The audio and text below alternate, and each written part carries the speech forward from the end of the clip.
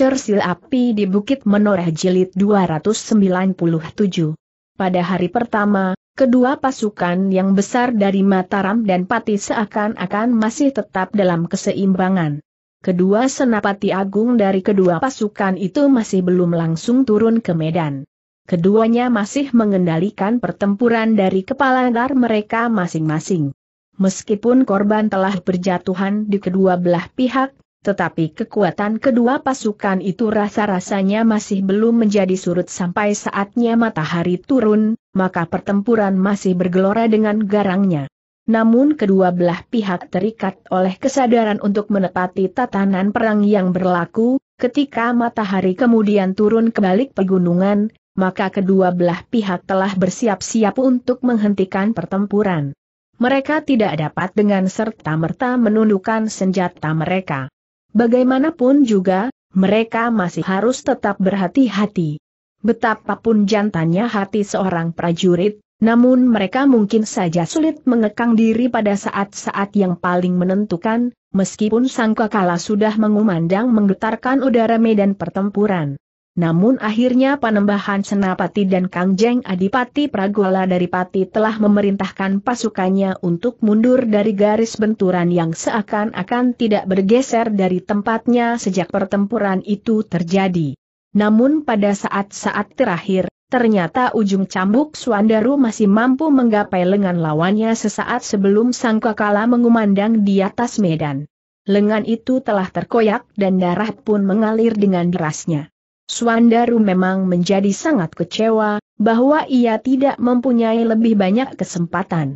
Demikian lawannya terdorong surut dan terhuyung-huyung, maka dua orang prajurit pati telah menangkap tubuh itu dan membawanya hilang tertelan oleh gelombang para prajurit yang bertaut seperti air yang disibakan oleh badan biduk yang meluncur di wajah air itu. Tetapi Swandaru tidak sempat memburu dengan menembus lapisan prajurit yang menakup di hadapan senapati yang terluka itu, sementara pertempuran seakan-akan telah terhenti. Kedua pasukan bergerak mundur ke arah yang berlawanan. Jika saja sangkakala itu tidak menyelamatkan nyawanya, geram Swandaru. Ketika malam turun, maka seperti yang terjadi di sebelah utara Mataram, di sebelah timur Kalikot, maka beberapa kelompok prajurit dari kedua belah pihak telah menelusuri bekas medan pertempuran. Kelompok-kelompok prajurit dan pengawal yang mencari korban yang telah jatuh selama pertempuran berlangsung. Seperti juga di sebelah utara Mataram, maka kelompok-kelompok prajurit yang berpihak Mataram dan Pati sama sekali tidak saling mengganggu.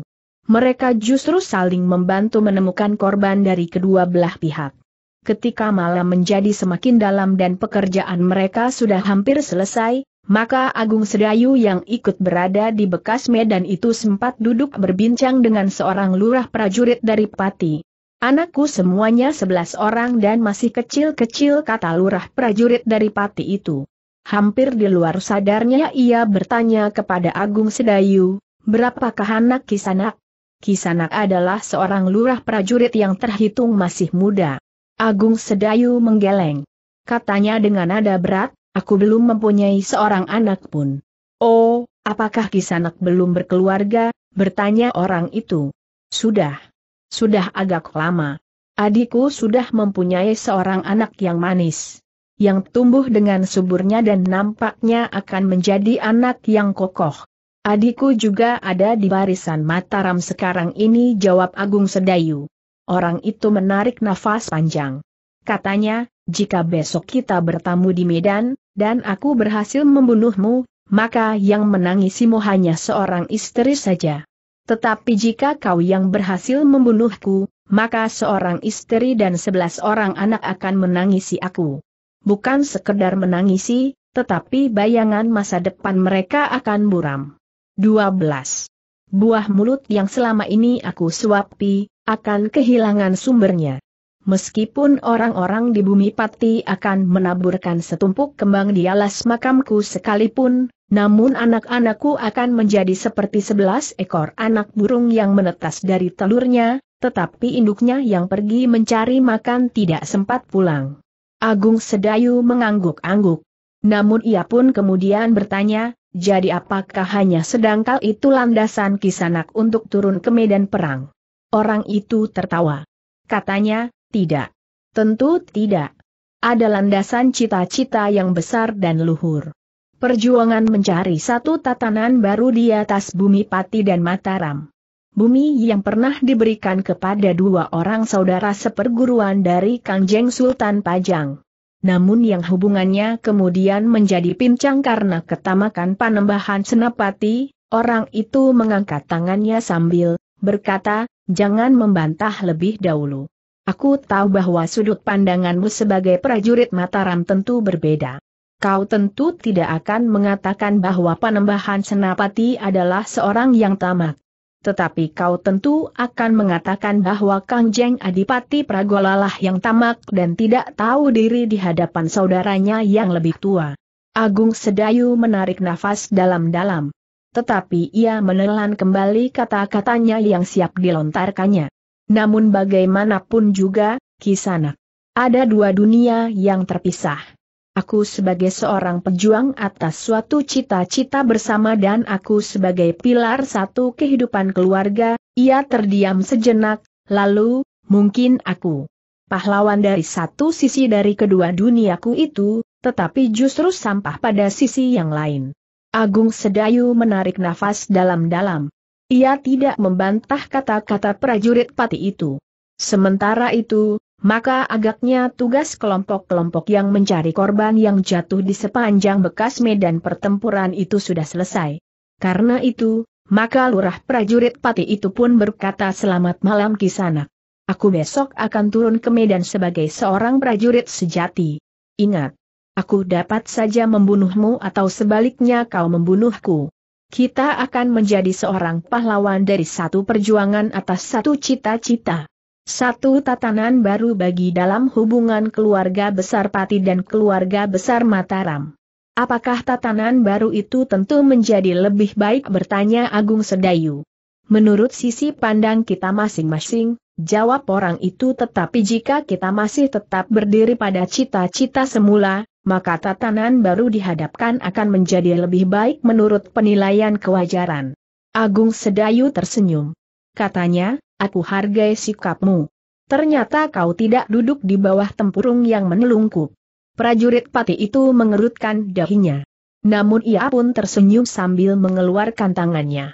Agung Sedayu menyambut tangan itu sambil berkata, Selamat malam. Selamat malam, jawab lurah prajurit dari pati itu meskipun aku seorang prajurit, tetapi lebih senang jika perang tidak terjadi. Agung Sedayu mengangguk. Katanya, mudah-mudahan anak cucu kita kelak akan menemukan satu zaman di mana perang akan tidak dikenal lagi. Satu mimpi yang indah, desis prajurit pati itu. Agung Sedayu mengangguk-angguk. Katanya, ya. Tetapi bukankah kita berharap bahwa mimpi itu menjadi darah dasih? Mudah-mudahan, lurah prajurit Pat itu tersenyum. Anak cucu kita tidak mengalami perang seperti yang kita alami sekarang pengalaman yang sangat pedih, menang atau kalah. Tetapi tiba-tiba Agung Sedayu terbanting ke dalam masalah pribadinya, ya, anak cucumu. Prajurit pati itu menepuk bahu Agung Sedayu, pada saatnya kau akan mempunyai seorang anak laki-laki yang gagah seperti kau. Kita akan berdoa bersama-sama, agar anak-anak kita tidak akan pernah bertemu di medan perang. Bukankah kita bermimpi bahwa di masa depan akan datang zaman di mana perang tidak dikenal lagi? Keduanya tertawa. Dua orang lurah prajurit dari pasukan yang saling bermusuhan. Namun betapa asamanya tawa itu sendiri. Demikianlah, keduanya berpisah kembali ke perkemahan masing-masing. Namun keduanya berharap, bahwa mereka besok tidak bertemu di medan perang yang akan membakar dataran di sebelah barat kali dengkeng itu. Ketika Agung Sedayu sampai di perkemahan, maka ia telah mendapat perintah-perintah apa yang harus dilakukannya esok pagi. Panembahan Senapati telah mengambil keputusan bahwa besok pasukan Mataram akan turun kembali ke medan tanpa menghiraukan, apakah Pati akan memasang gelarnya lagi atau tidak. Jika Pati tidak keluar dari bentengnya, maka kita akan memasuki benteng itu. Tetapi pada saat yang sama Pati juga memutuskan untuk melepas pasukannya dalam gelar yang sama. Tetapi apa yang terjadi dalam dua kali benturan kekuatan, menjadi bahan penyusunan kekuatan di hari yang akan datang. Kita jangan memberi kesempatan kepada pasukan Mataram untuk menghindarkan diri dari silaunya matahari pagi, perintah Kangjeng Adipati Pat, meskipun seandainya garis perang bertahan cahaya matahari menjelang senja. Tetapi perubahan-perubahan akan dapat terjadi selama pertempuran berlangsung. Para senapati-pati mengangguk-angguk. Mereka menyadari, meskipun nampaknya tidak terlalu penting, tetapi silaunya cahaya matahari pagi akan sangat berpengaruh atas ketajaman penglihatan prajurit Mataram. Jika pada benturan pertama prajurit Mataram akan mengalami kesulitan, maka untuk seterusnya, para prajurit Mataram akan mengalami goncangan-goncangan. Malam itu, para prajurit Pati dan Mataram yang akan turun ke medan berusaha untuk dapat beristirahat sebaik-baiknya. Agung Sedayu pun telah beristirahat pula. Swandaru yang mengetahui bahwa Agung Sedayu bertugas di bekas medan pertempuran, maka ia tidak datang mencarinya. Tetapi Swandaru yang kecewa karena tidak sempal menyelesaikan pertempuran, telah berbaring sejak malam turun. Ia menugaskan beberapa orang pengawal untuk mencari para pengawal sangkal putung yang mengalami cedera dan gugur dalam pertempuran. Di dini hari, maka para prajurit Mataram dan Pati pun telah mulai mempersiapkan diri. Ketika asap di dapur mulai mengepul, para prajurit mulai berbenah diri pula. Mereka melihat kembali senjata-senjata mereka. Yang senjatanya rusak atau patah, telah mendapatkan yang baru. Agung Sedayu telah mulai bersiap-siap pula lah sempat menilik prajurit-prajuritnya kelompok. Agung Sedayu sempat memberikan peringatan-peringatan dan pesan-pesan yang bukan saja membesarkan hati para prajuritnya, tetapi juga memberikan beberapa pilihan yang dapat mereka lakukan di medan pertempuran. Beberapa saat sebelum keseluruhan pasukan Mataram itu dipersiapkan dalam gelar, maka Suandaru sempat mengunjungi Agung Sedayu. Seperti biasanya ia memberikan beberapa pesan kepada kakak seperguruannya itu sambil menceritakan kekecewaannya, karena ia tidak sempat menyelesaikan lawannya sampai tuntas.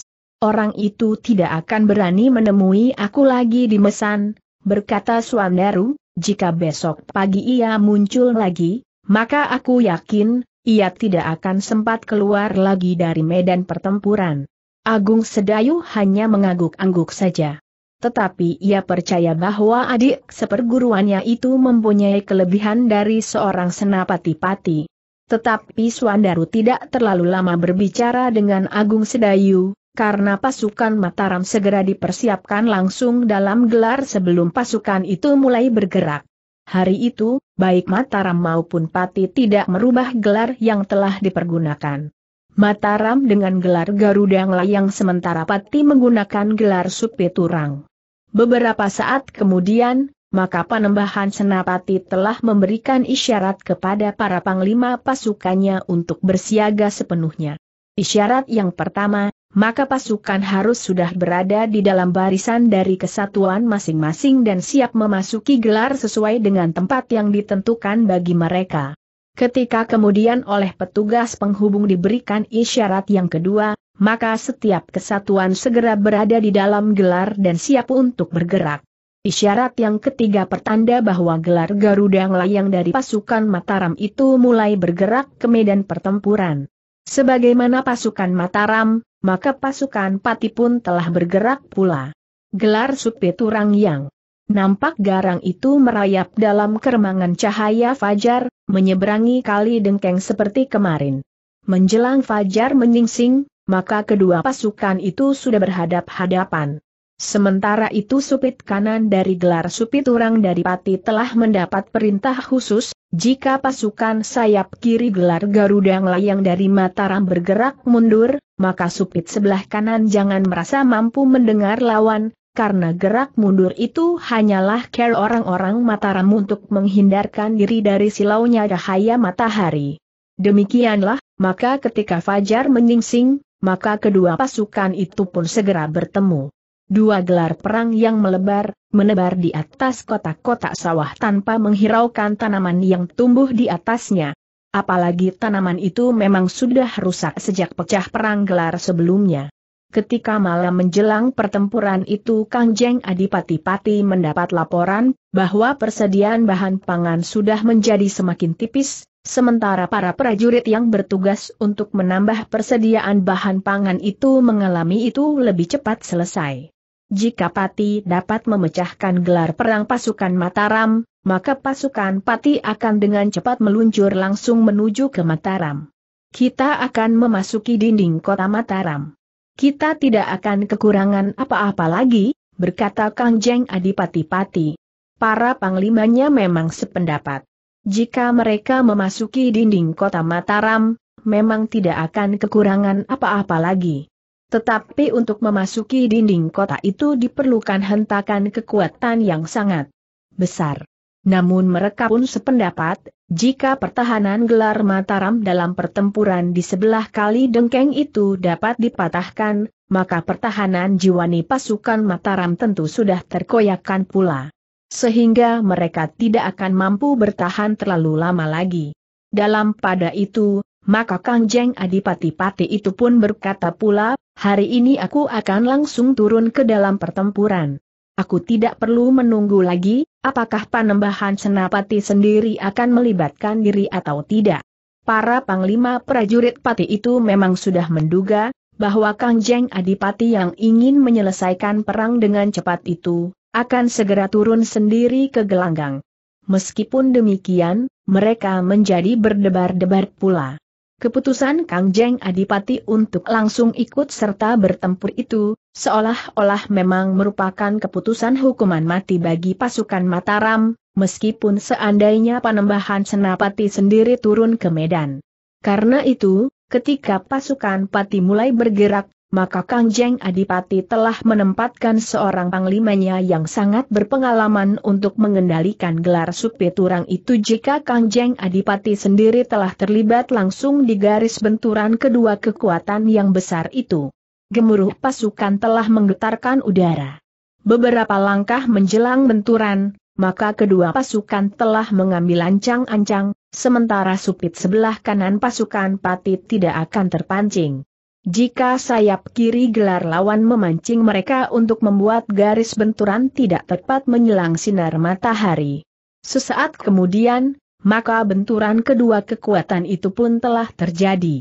Benturan di dua kekuatan yang bukan saja besar, tetapi juga kemampuan tinggi. Panembahan Senapati masih memperingatkan agar pasukannya berusaha untuk tidak menentang bahaya matahari yang sedang terbit. Tetapi Panembahan Senapati pun memperingatkan, bahwa cara yang pernah ditempuh sebelumnya tidak akan dapat dipergunakannya lagi, karena pasukan Mataram adalah sekedar satu cara yang telah direncanakan. Bukan karena pasukan Mataram itu tidak mampu bertahan pada benturan pertama. Karena itu, maka jalan yang ditempuh oleh pasukan Mataram justru menghentak di sayap kanannya adalah di luar dugaan pasukan Pati, maka dalam benturan yang terjadi, sayap sebelah kanan dari gelar Garuda Layang itu telah mengerahkan segenap kemampuannya. Bahkan para prajurit yang seharusnya berada di belakang garis benturan. Pasukan Pati memang terkejut. Karena itu supit sebelah kirinya justru telah terguncang dan terpaksa bergerak surut namun dengan cepat supit sebelah kiri itu memperbaiki kedudukan mereka para senapati prajurit pati memang cukup berpengalaman. Karena itu, dalam waktu singkat maka supit sebelah kiri itu telah mapan kembali, sehingga keseimbangan pun segera dicapai.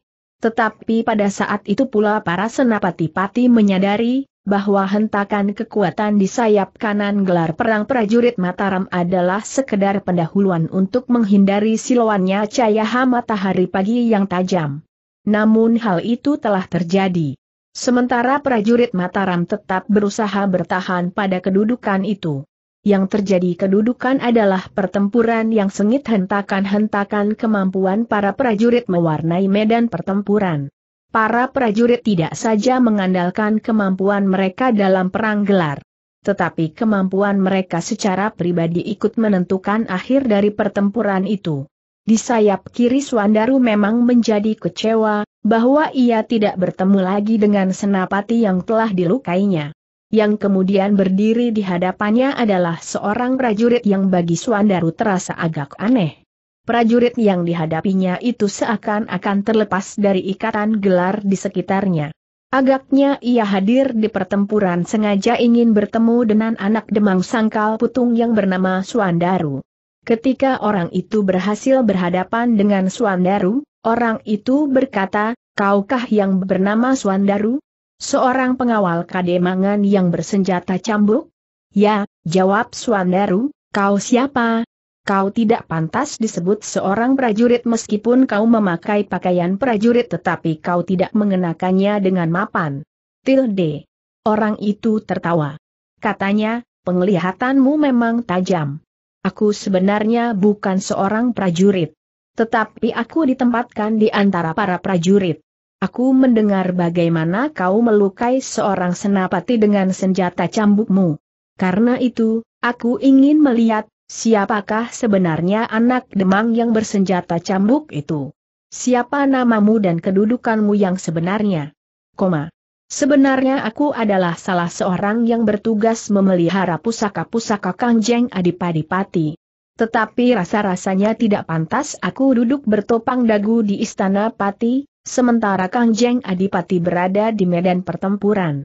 Karena itu, aku mohon untuk diperkenankan ikut dalam gelar ini. Siapa namamu bertanya Swandaru? Orang itu tertawa. Katanya, baiklah, di duniamu yang baru kau akan dapat mengingat namaku. Orang memanggilku Ki Ajar terpanah, sekarang bersiaplah untuk mati. Kau sudah mengetahui namaku, pekerjaanku dan niatku untuk dengan sengaja menemuimu. Bagus sahut Swandaru bersiaplah Ki Ajar.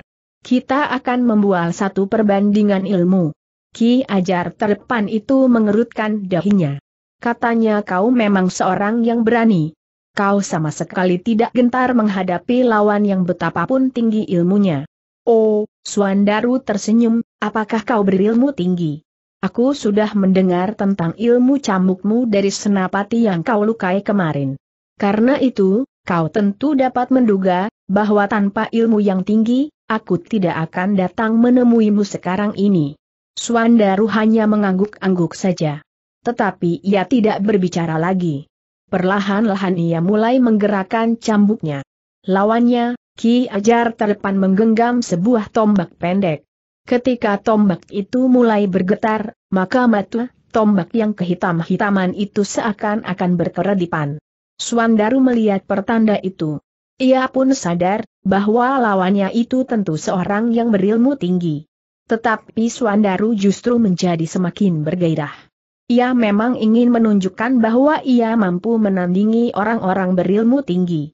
Sejenak kemudian keduanya telah terlibat dalam pertempuran yang sengit ujung tombak Ki Ajar terdepan berputar dengan cepat bergerak mendatar namun kemudian mematuk dengan cepatnya ke arah dada. Namun serangan itu urung karena cambuk Swandaru telah menggeliat menyambar ke arah leher lawannya. Ki Ajar meloncat surut ketika ia mendengar cambuk Swandaru meledak seakan-akan memecahkan daun telinga. Namun kemudian Ki Ajar itu pun berkata, kau tidak usah bermain kuda-kudaan lagi Ki Sanak.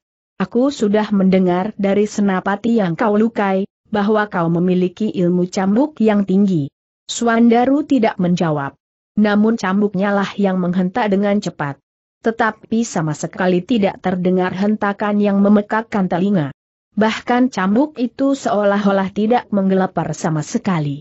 Yang terdengar tidak lebih dari sebuah gesekan halus yang lemah. Namun Ki Ajar terdepan itu melenting sekali lagi surut sambil mengangguk-angguk. Ia berkata, ternyata senapati itu tidak bermimpi. Kau benar-benar memiliki ilmu cambuk yang dahsyat sekali hi, dari siapa kau mewarisi ilmu cambukmu itu? Tentu saja dari guruku, jawab Swandaru. Siapa gurumu itu? Bertanya Ki Ajar terdepan pula. Orang menyebutnya, orang bercambuk, jawab Swandaru. Setan kau, geram orang itu, tentu orang bercambuk. Siapa namanya? Swandaru mengerutkan dahinya. Ia tidak senang mendengar orang itu mengumpat dengan garangnya ia berkata, kau tidak berhak membentak dan mengumpati aku. Kau boleh bertanya siapakah guruku, tetapi dengan cara yang lebih baik. Persetan dengan gurumu, berkata Ki Ajar Terepan. Siapa pun gurumu, kau akan mati hari ini. Suandaru tidak menjawab. Tetapi cambuknya lah yang menggeliat menggapainya. Tetapi Ki Ajar Terepan memang tangkas pula. Ujung cambuk itu sama sekali tidak menyentuh kulitnya. Bahkan dengan cepat pula orang itu melenting. Tombaknya menggelapar di satu tangannya yang menebas mendatar menyambar ke arah lambung. Namun Swandaru pun sempat meloncat menghindar pula, sehingga serangan itu tidak mengenainya. Demikianlah, pertempuran pun berlangsung semakin sengit. Para senapati yang sering bertemu dan berhadapan telah bertempur dengan sengitnya. Dalam pada itu, maka Kanjeng Adipati yang sudah berniat untuk langsung terjun ke pertempuran telah memanggil panglimanya yang memang sudah ditunjuk untuk menggantikannya memegang kendali pertempuran. Sudah waktunya aku turun ke medan. Aku berhadap bahwa Panembahan Senapati berani bersikap jantan dengan menyongsong kehadiranku. Di medan pertempuran seperti ini akan menjadi arna yang paling wajar untuk menguji, siapakah yang lebih baik di antara aku dan Panembahan Senapati. Dengan demikian, maka akan ditentukan pula siapakah yang paling berhak untuk memerintah sepeninggal Kangjeng Sultan Hadi Wijaya di Pajang. Panembahan Senapati di Mataram atau Adipati Pragola Dipati.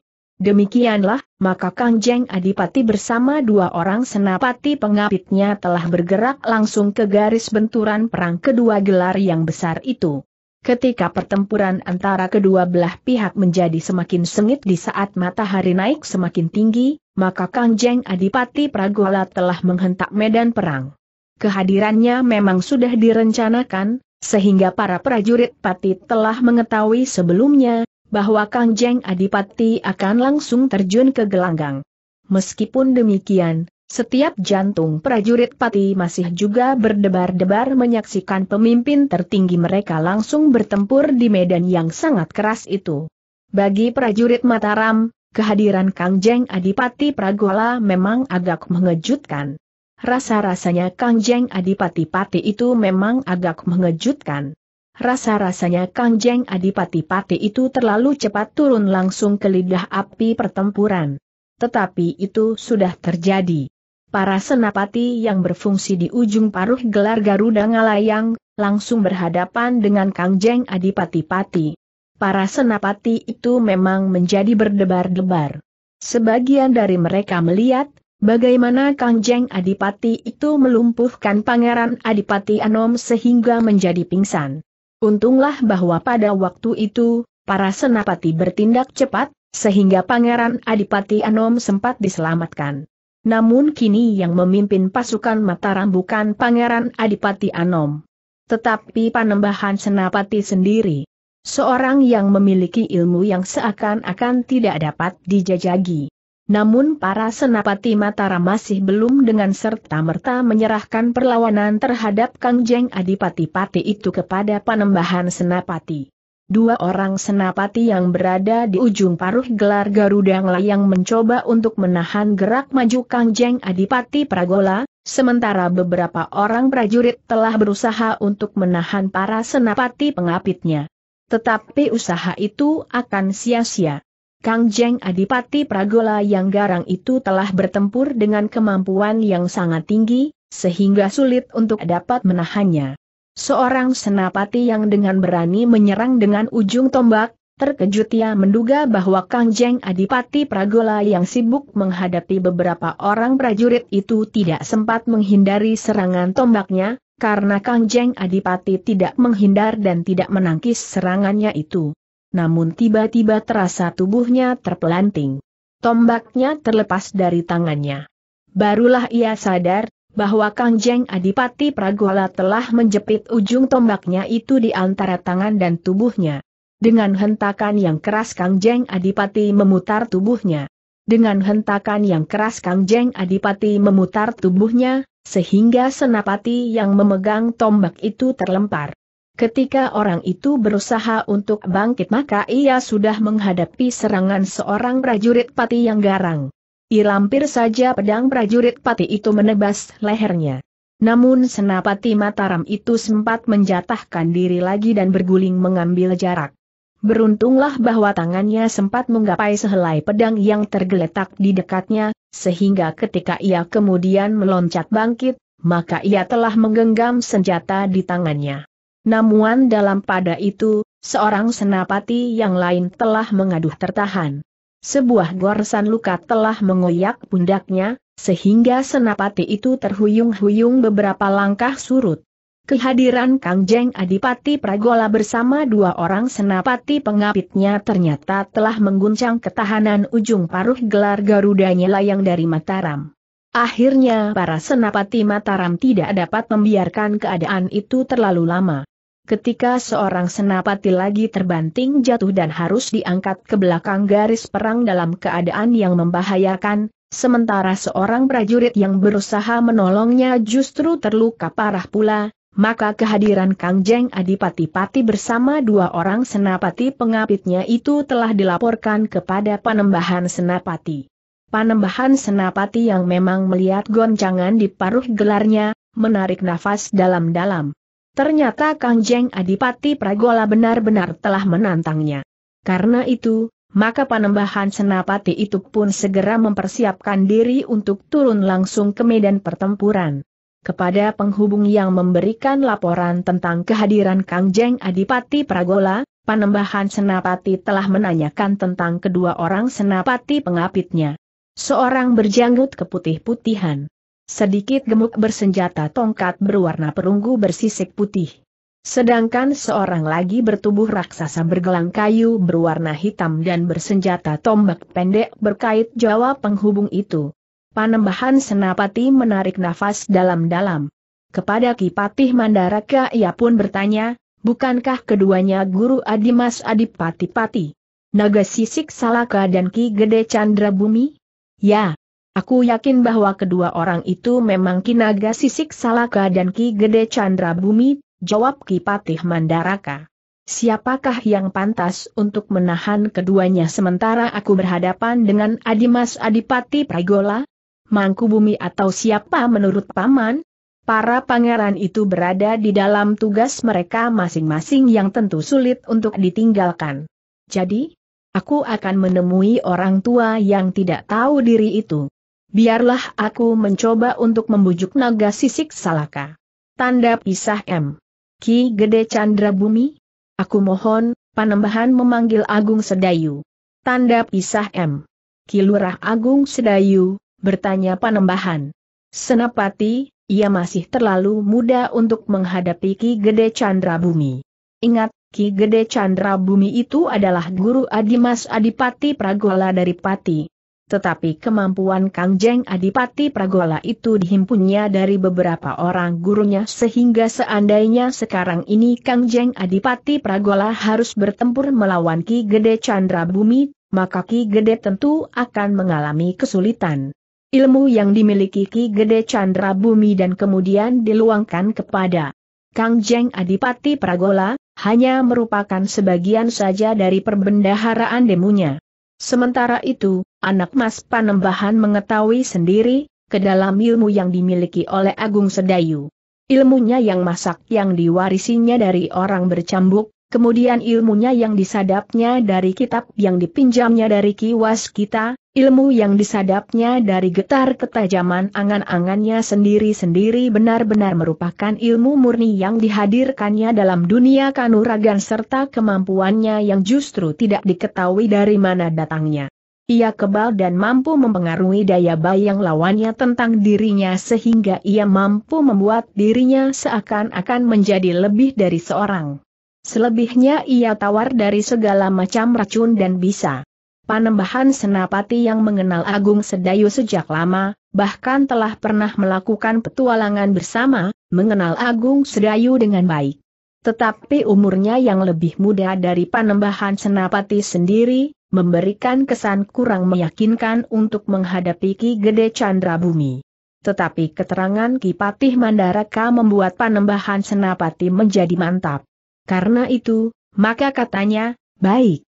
Aku akan turun ke medan bersama dua orang senapati pengapit Paman Patih Mandaraka dan Kilurah Agung Sedayu.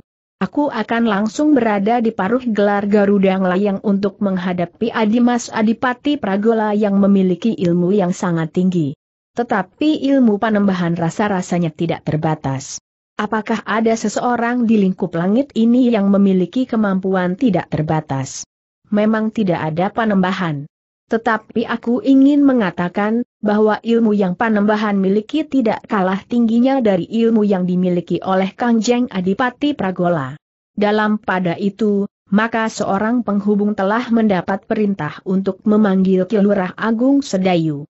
Ia harus menyerahkan pimpinan pasukan khususnya kepada senapati yang dipercayanya, karena Kilurah Agung Sedayu akan menjadi salah seorang senapati pengapit dari Panembahan Senapati.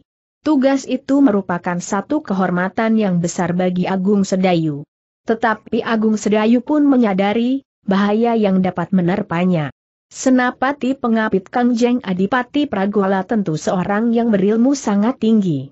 Demikianlah, sejenak kemudian, maka Panembahan Senapati benar-benar telah mempersiapkan dirinya. Ia akan turun ke medan untuk menjawab tantangan adik iparnya, Kangjeng Adipati Pragola dari Pati. Langit yang cerah jernih itu tiba-tiba telah disapu tawan. Matahari yang memanjat ke puncak langit menjadi pudar.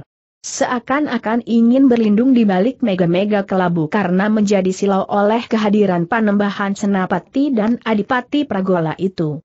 Para prajurit Mataram pun segera menyibak ketika mereka melihat Panembahan Senapati bersama dua orang senapati pengapitnya turun ke medan bahkan beberapa orang tidak dapat lagi menahan gejolak. Perasaannya, setelah beberapa saat mereka menyaksikan, betapa Kangjeng Adipati dengan dua orang senapati pengapitnya telah mengguncang paruh gelar perang pasukan Mataram. Kedatangan panembahan senapati itu pun langsung disambut oleh Kangjeng Adipati Pragola. Dengan suara yang bergetar Kangjeng Adipati Pragola dari Pati itu pun berkata, Selamat datang di Medan Kakang Mas. Sayang aku tidak dapat memberikan sambutan lebih baik dari ini. Panembahan Senapati tersenyum. Dipandanginya adik iparnya itu sejenak. Kemudian dipandanginya kedua senapati pengapit Kangjeng Adipati itu. Untuk sesaat pertempuran di sekitar kedua orang pemimpin tertinggi Mataram dan Pati itu seakan-akan terhenti meskipun di bagian yang lain, pertempuran masih berlangsung dengan dahsyatnya. Terima kasih atas sambutanmu itu, Dimas. Kau tidak perlu menyambut kedatanganku dengan berlebihan. Sudah sejak beberapa hari aku menunggu, berkata Kang Jeng Adipati Pati. Aku sudah mengirimkan Pangeran Adipati Anom untuk mewakili aku. Ia telah menemui Adimas dan menyampaikan pesanku jawab Panembahan Senapati. Tetapi Kang Jeng Adipati Pragola tertawa. Katanya, anak itu terlalu sombong. Ia tidak tahu diri dengan siapa ia berhadapan. Aku minta maaf sebagai anak itu, Adimas, berkata Panembahan Senapati kemudian. Tidak apa-apa Kakang Mas. Tidak apa-apa. Aku juga tahu tak anak-anak muda, karena aku pun pernah muda pula. Terima kasih Adimas, desis Panembahan Senapati. Namun kata-kata Panembahan Senapati terputus oleh suara kinaga sisik salaka yang seakan-akan bergulung-gulung di perutnya baktiku bagi Panembahan Senapati yang agung. Panembahan Senapati tersenyum. Katanya, terima kasih Paman Naga Sisik Salaka. Juga kepada Ki Juru Martani yang bergelar Adipati Mandaraka, Pepatih Mataram yang bijaksana. Ki Patih Mandaraka tertawa pendek. Katanya, kau masih saja suka bergurau Ki Naga Sisik Salaka. Orang yang disebut Naga Sisik Salaka itu tertawa, sementara Ki Chandra Bumi pun berkata, aku mengenal Panembahan Senapati dan Ki Patih Mandaraka dengan baik. Tetapi aku belum mengenal orang muda ini. Panembahan Senapati berpaling kepada Ki Chandra Bumi yang memang lebih senang berbicara langsung daripada dengan basa-basi yang baginya tidak ada artinya sama sekali itu.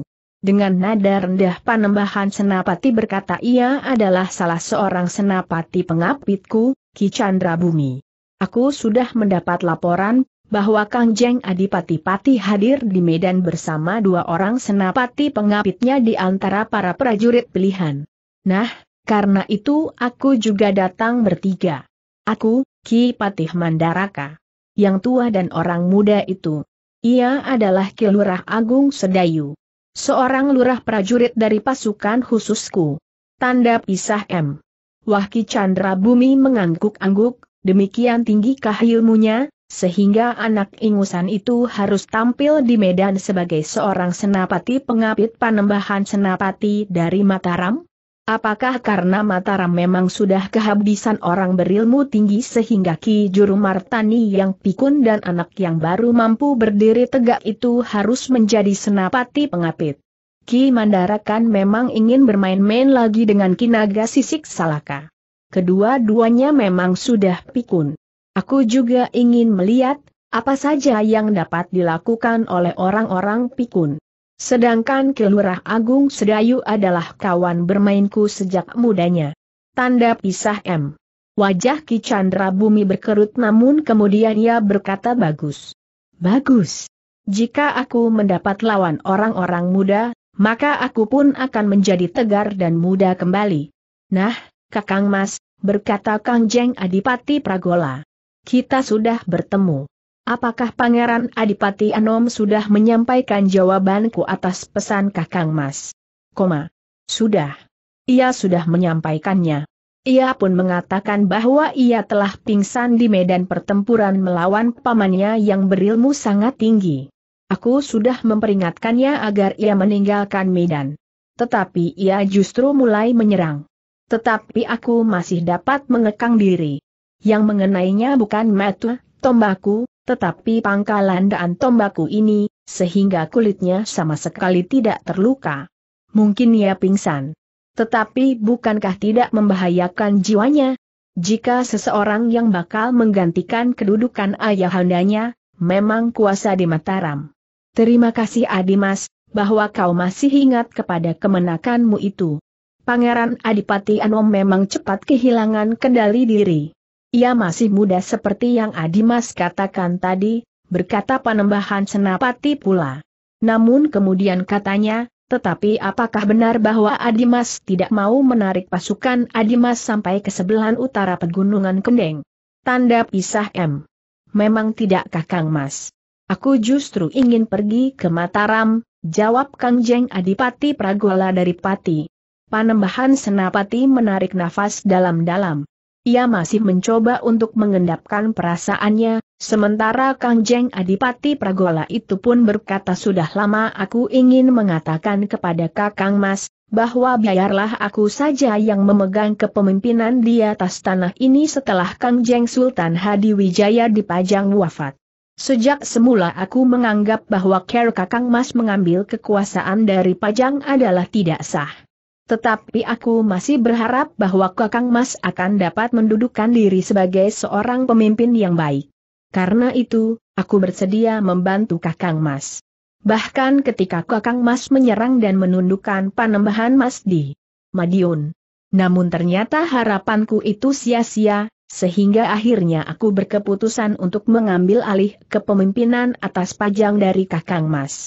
Panembahan Senapati termangu-mangu sejenak, lah tidak menolak seseorang menilai tentang dirinya. Apa yang telah dilakukannya dan apa yang akan dilakukannya tidak akan banyak terpengaruh oleh pendapat orang lain. Bahkan pendapat orang lain tentang dirinya akan dapat dipergunakannya untuk menjadi bahan pertimbangan atas langkah-langkah yang bakal diambilnya.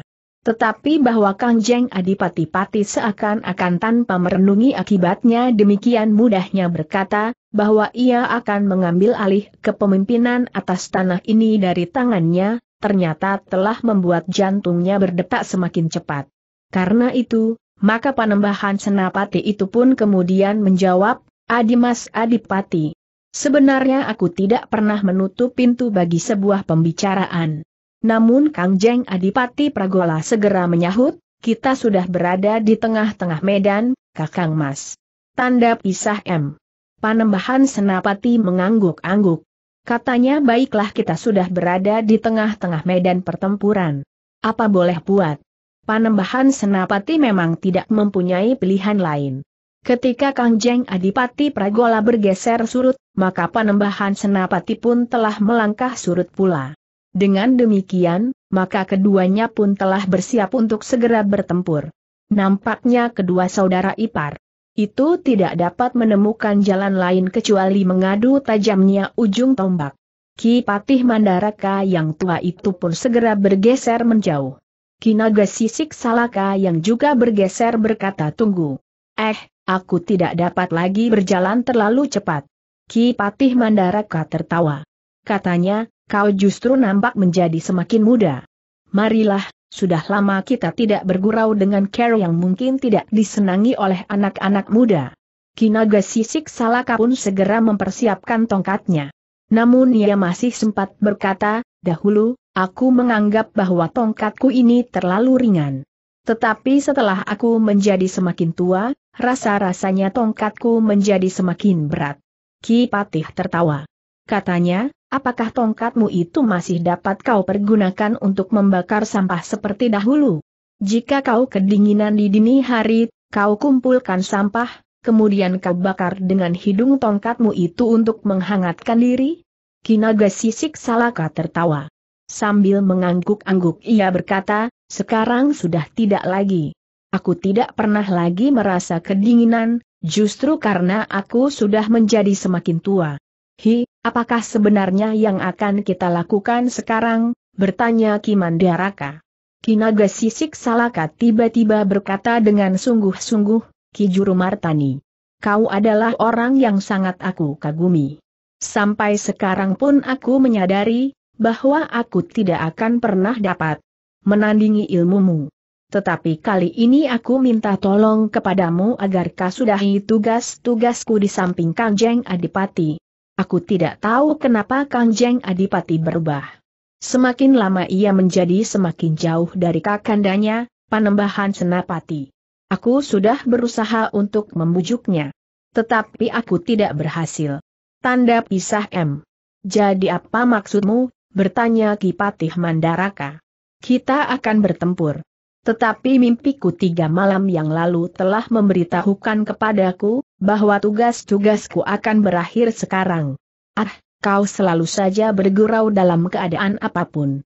Aku tahu, bahwa ilmu yang bertimbun di dalam dirimu bertumpuk sampai menyentuh langit, berkata Ki Patih Mandaraka kemudian. Kaulah yang masih saja bergurau cobalah sedikit menunjukkan sedih hatimu sebagai pernyataan kesetia kawananmu, bahwa sebentar lagi, seorang dari sekian banyak sahabatmu akan mati di pertempuran. Jangan berkata begitu, sahut Kipatih Mandaraka. Namun Kinaga Sisik Salaka itu segera mengangkat tongkatnya dan memutarnya. Dengan nada dalam ia berkata, marilah Ki Juru Martani. Jika kau tidak bersedia mengantar aku ke dunia abadiku, maka biarlah aku yang mengantarmu. Kijuru tidak bertanya lagi. Tetapi ia pun segera mempersiapkan diri menghadapi kinaga sisik salaka dengan senjata tongkatnya itu. Dalam pada itu, ternyata Ki Chandra Bumi justru telah lebih dahulu mulai menyerang Agung Sedayu. Tanpa senjata di tangan, Ki Chandra Bumi meloncat menyambar ke arah kening. Agung Sedayu pun dengan cepat menghindar. Namun karena lawannya masih belum bersenjata, maka Agung Sedayu pun belum mengurai cambuknya pula. Dengan garangnya Ki Gede Chandra Bumi berloncatan. Tangannya menyambar-nyambar dengan cepatnya. Namun Agung Sedayu pun mampu bergerak secepat serangan-serangan Ki Chandra Bumi. Ternyata kau bukan sekedar anak bawang, Kilurah. Geram Ki Gede Chandra Bumi. Siapa pun aku, aku akan menjalankan perintah ini sebaik-baiknya, jawab Agung Sedayu. Aku sebenarnya kasihan kepadamu. Kau masih terhitung muda. Tetapi perintah panembahan senapati kepadamu untuk menjadi senapati pengapitnya adalah sama saja dengan jatuhnya hukuman mati. Hi apakah kau belum pernah mengenal namaku? Sebelum aku turun menjadi senapati pengapit panembahan senapati, belum ki gede. Ki Gede Chandra Bumi menggeram. Serangan-serangannya semakin lama menjadi semakin deras. Seperti angin yang bertiup semakin kencang mengguncang pepohonan. Tetapi pertahanan Agung Sedayu sama sekali tidak terguncang. Jantung Ki Chandra Bumi semakin lama menjadi semakin panas. Lurah prajurit Mataram itu masih saja mampu mengimbangi ilmunya yang tinggi. Bahkan dengan geram ia berkata, Hi, Kilurah. Apakah kau tahu bahwa aku adalah salah seorang guru Kangjeng Adipati-Pati? Aku tahu Ki Chandra Bumi, jawab Agung Sedayu tetapi kadang-kadang seorang murid memang menjadi lebih pandai dari gurunya. Apalagi seorang murid yang memiliki lebih dari dua tiga orang guru. Kau benar. Tetapi aku adalah salah seorang di antara mereka yang membentuk Kangjeng Adipati Pragola menjadi seorang yang ilmunya tidak dapat dijajagi. Ia akan menggelas Panembahan Senapati dan merampas tahta Mataram yang dirampas oleh Panembahan Senapati dari Pajang. Agung Sedayu tidak menjawab. Tetapi ia justru meloncat menyerang. Ki Gede Chandra Bumi melihat serangan itu. Tetapi Ki Gede Chandra Bumi sengaja tidak menghindar. Ia ingin menjajagi kekuatan Kilurah Agung Sedayu itu. Seorang lurah prajurit yang telah dipasang menjadi senapati pangapit panembahan senapati. Benturan yang keras telah terjadi dua kekuatan yang besar telah beradu. Ternyata Agung Sedayu telah tergetar selangkah surut tangannya yang membentur pertahanan Ki Gede Chandra Bumi pun terasa menjadi nyeri. Namun Ki Gede Chandra Bumi pun telah terdorong surut pula. Ia pun merasa nyeri pula sebagaimana Agung Sedayu. Ki Chandra Bumi itu pun menjadi yakin, bahwa Ki Lurah Agung Sedayu memang seorang yang memiliki kemampuan yang besar. Tetapi itu bukan berarti bahwa Senapati Pengapit yang masih terhitung muda itu memiliki tataran ilmu yang memadai untuk mengimbangi ilmunya. Ki Gede Chandra Bumi pun kemudian telah meningkatkan ilmunya tataran demi tataran. Ia ingin mengukur seberapa tinggi tataran ilmu Senapati muda itu. Nampaknya Agung Sedayu mengerti maksud lawannya. Sebagaimana sifatnya, maka Agung Sedayu tidak ingin melampaui tataran-tataran Ki Gede Chandra Bumi itu. Karena itu, justru Agung Sedayulah yang menyesuaikan diri dengan tataran ilmu lawannya. Dengan demikian maka pertempuran antara Ki Gede Chandra Bumi melawan Kilurah Agung Sedayu itu menjadi semakin sengit keduanya menjadi semakin garang, sementara ilmu mereka pun merambat semakin tinggi. Dalam pada itu, Ki Tumenggung Yuda Pamungkas telah mengerahkan kekuatan prajurit-prajuritnya yang ada di pangkal leher gelar perang dari Mataram itu untuk mendesak lawan. Tetapi lawan telah menyusun gelarnya lebih baik lagi, memang tidak mudah untuk diguncang. Sementara itu, di ujung sayap, Ki Untara yang memiliki kemampuan yang tinggi di dalam perang gelar, harus mengakui bahwa pasukan lawan pun memiliki ketahanan yang tinggi pula. Sementara itu, Suandaru yang ada di dalam sayap itu pula masih bertempur dengan Ki Ajar. Terdepan. Seorang yang memiliki ilmu yang tinggi pula. Sementara itu, semakin seru pertempuran yang terjadi di antara Ki Ajar terdepan melawan Suandaru, maka mata tombak Ki Ajar itu semakin berkilat-kilat namun cambuk Suandaru pun menggelepar dan kemudian berputar dengan cepatnya. Tidak lagi terdengar ledakan-ledakan. Tetapi setiap hentakan yang terasa adalah getarnya yang menyentuh dada. Di sayap yang lain pertempuran pun menjadi semakin sengit ketika matahari bergerak turun, maka prajurit cadangan yang berada di tabuh gelar perang pun mulai berkeringat. Merekalah yang kemudian bertempur dengan garangnya sementara jumlah kedua belah pihak menjadi semakin susut. Tubuh para prajurit yang terluka banyak yang terbujur lintang di arna. Kawan-kawan mereka berusaha untuk membawa tubuh-tubuh itu keluar dari medan agar mereka tidak terinjak-injak kaki. Namun kadang-kadang kesempatan itu tertutup. Bahkan yang gugur pun harus dibiarkan berada di tempatnya. Para prajurit sibuk bertahan untuk tetap hidup, sementara senjata pun berputaran di mana-mana. Beberapa orang yang memiliki ilmu yang khusus, mempunyai pengaruh yang kuat di setiap bagian dari gelar perang kedua belah pihak. Para senapati dan orang-orang tertentu yang terselip di antara para prajurit secara khusus, baik di dalam pasukan Mataram, maupun pasukan Pati. Ki Demang Rancak yang bergabung dengan para prajurit Mataram yang berasal dari Ganjur, ternyata memiliki kelebihan yang menggetarkan para prajurit pati.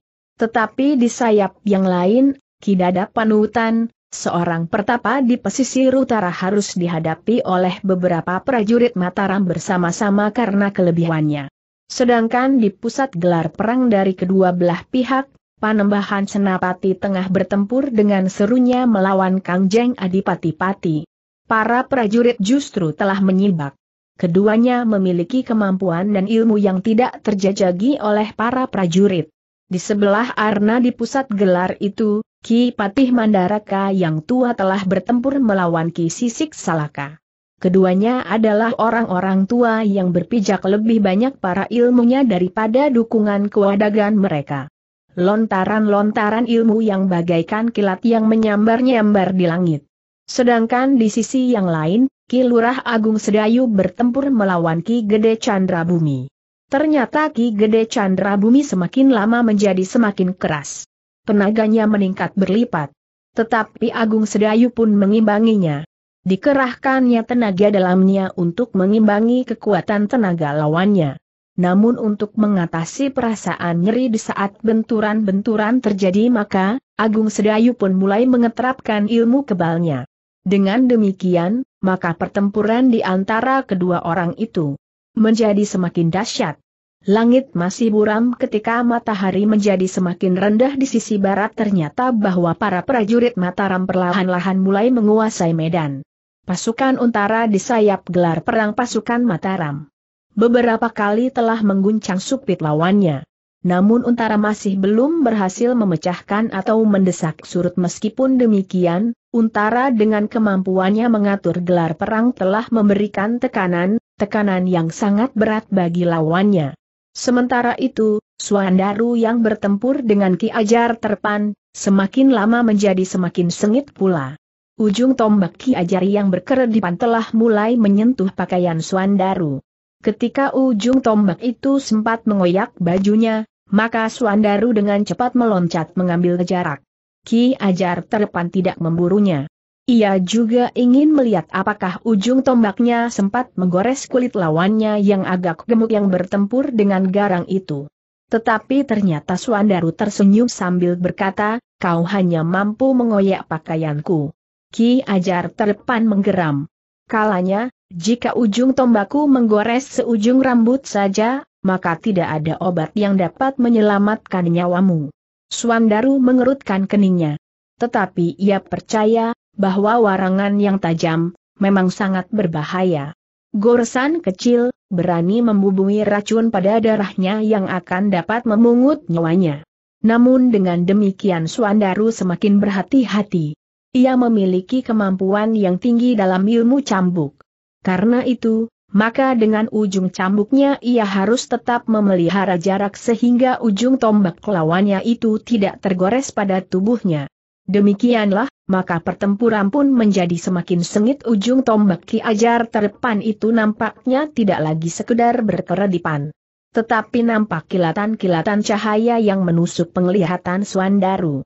Tetapi Swandaru tidak mau terpengaruhi oleh mata tombak lawannya.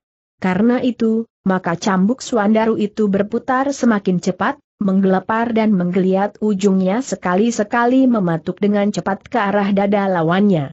Tetapi Ki Ajar terdepan pun dengan cepat pula berloncatan menghindari kejaran ujung cambuk Suandaru. Sekali tombaknya berputar, kemudian terjulur lurus ke arah lambung. Tetapi Suandaru yang mengerti betapa garangnya racun di ujung tombak itu, tidak membiarkan kulitnya tergores sama sekali. Dengan demikian, maka kedua orang itu pun bergerak semakin cepat tetapi ujung cambuk Suandaru ternyata lebih tangkas dari ujung tombak lawannya. Karena itu, maka ketika Ki Ajar terdepan gagal menusuk lambung Suandaru dan berusaha meloncat surut untuk mengambil jarak, maka ujung cambuk Suandaru sempat menyentuh pundaknya. Ki Ajar terdepan berteriak marah. Sentuhan ujung cambuk Suandaru telah mengoyak pundaknya. Darah pun mulai mengalir dari luka-lukanya itu. Setan kau, geram Ki Ajar terdepan. Ternyata bukan hanya Senapati yang kemarin bertempur melawan Swandaru. Tetapi hari itu, pundaknya juga telah terluka. Dengan kemarahan yang menghentak jantungnya, maka Ki Ajar terdepan berusaha untuk membalasnya. Jika ia berhasil, maka itu berarti bahwa orang yang melukai pundaknya itu akan terbunuh. Sementara itu, langit pun menjadi semakin muram. Matahari menjadi semakin rendah di sisi langit sebelah barat. Agung Sedayu yang bertempur dengan Ki Gede Chandra Bumi menjadi semakin sengit keduanya telah meningkatkan ilmu mereka semakin tinggi. Serangan-serangan Ki Gede Chandra Bumi yang masih saja tidak bersenjata itu, ternyata mampu menggoyahkan ilmu kebal Agung Sedayu. Ketika Ki Gede Chandra Bumi menghentakkan serangannya dengan telapak tangannya, Agung Sedayu berusaha menangkisnya dengan tangannya pula. Ketika benturan itu terjadi maka Agung Sedayu merasakan getar yang mengguncang menyusuri urat-urat darahnya sampai ke jantung, menyusup ketahanan ilmu kebalnya. Agung Sedayu meloncat surut. Ia bersiap untuk menerima serangan berikutnya, betapa jantungnya terasa nyeri. Namun Ki Gede Chandri Bumi itu tidak memburunya. Wajahnya menjadi tegang. Ternyata benturan itu pun membuatnya tergetar. Bahkan ilmu kebal agung sedayu dalam tataran yang semakin tinggi, telah memancarkan udara panas pula.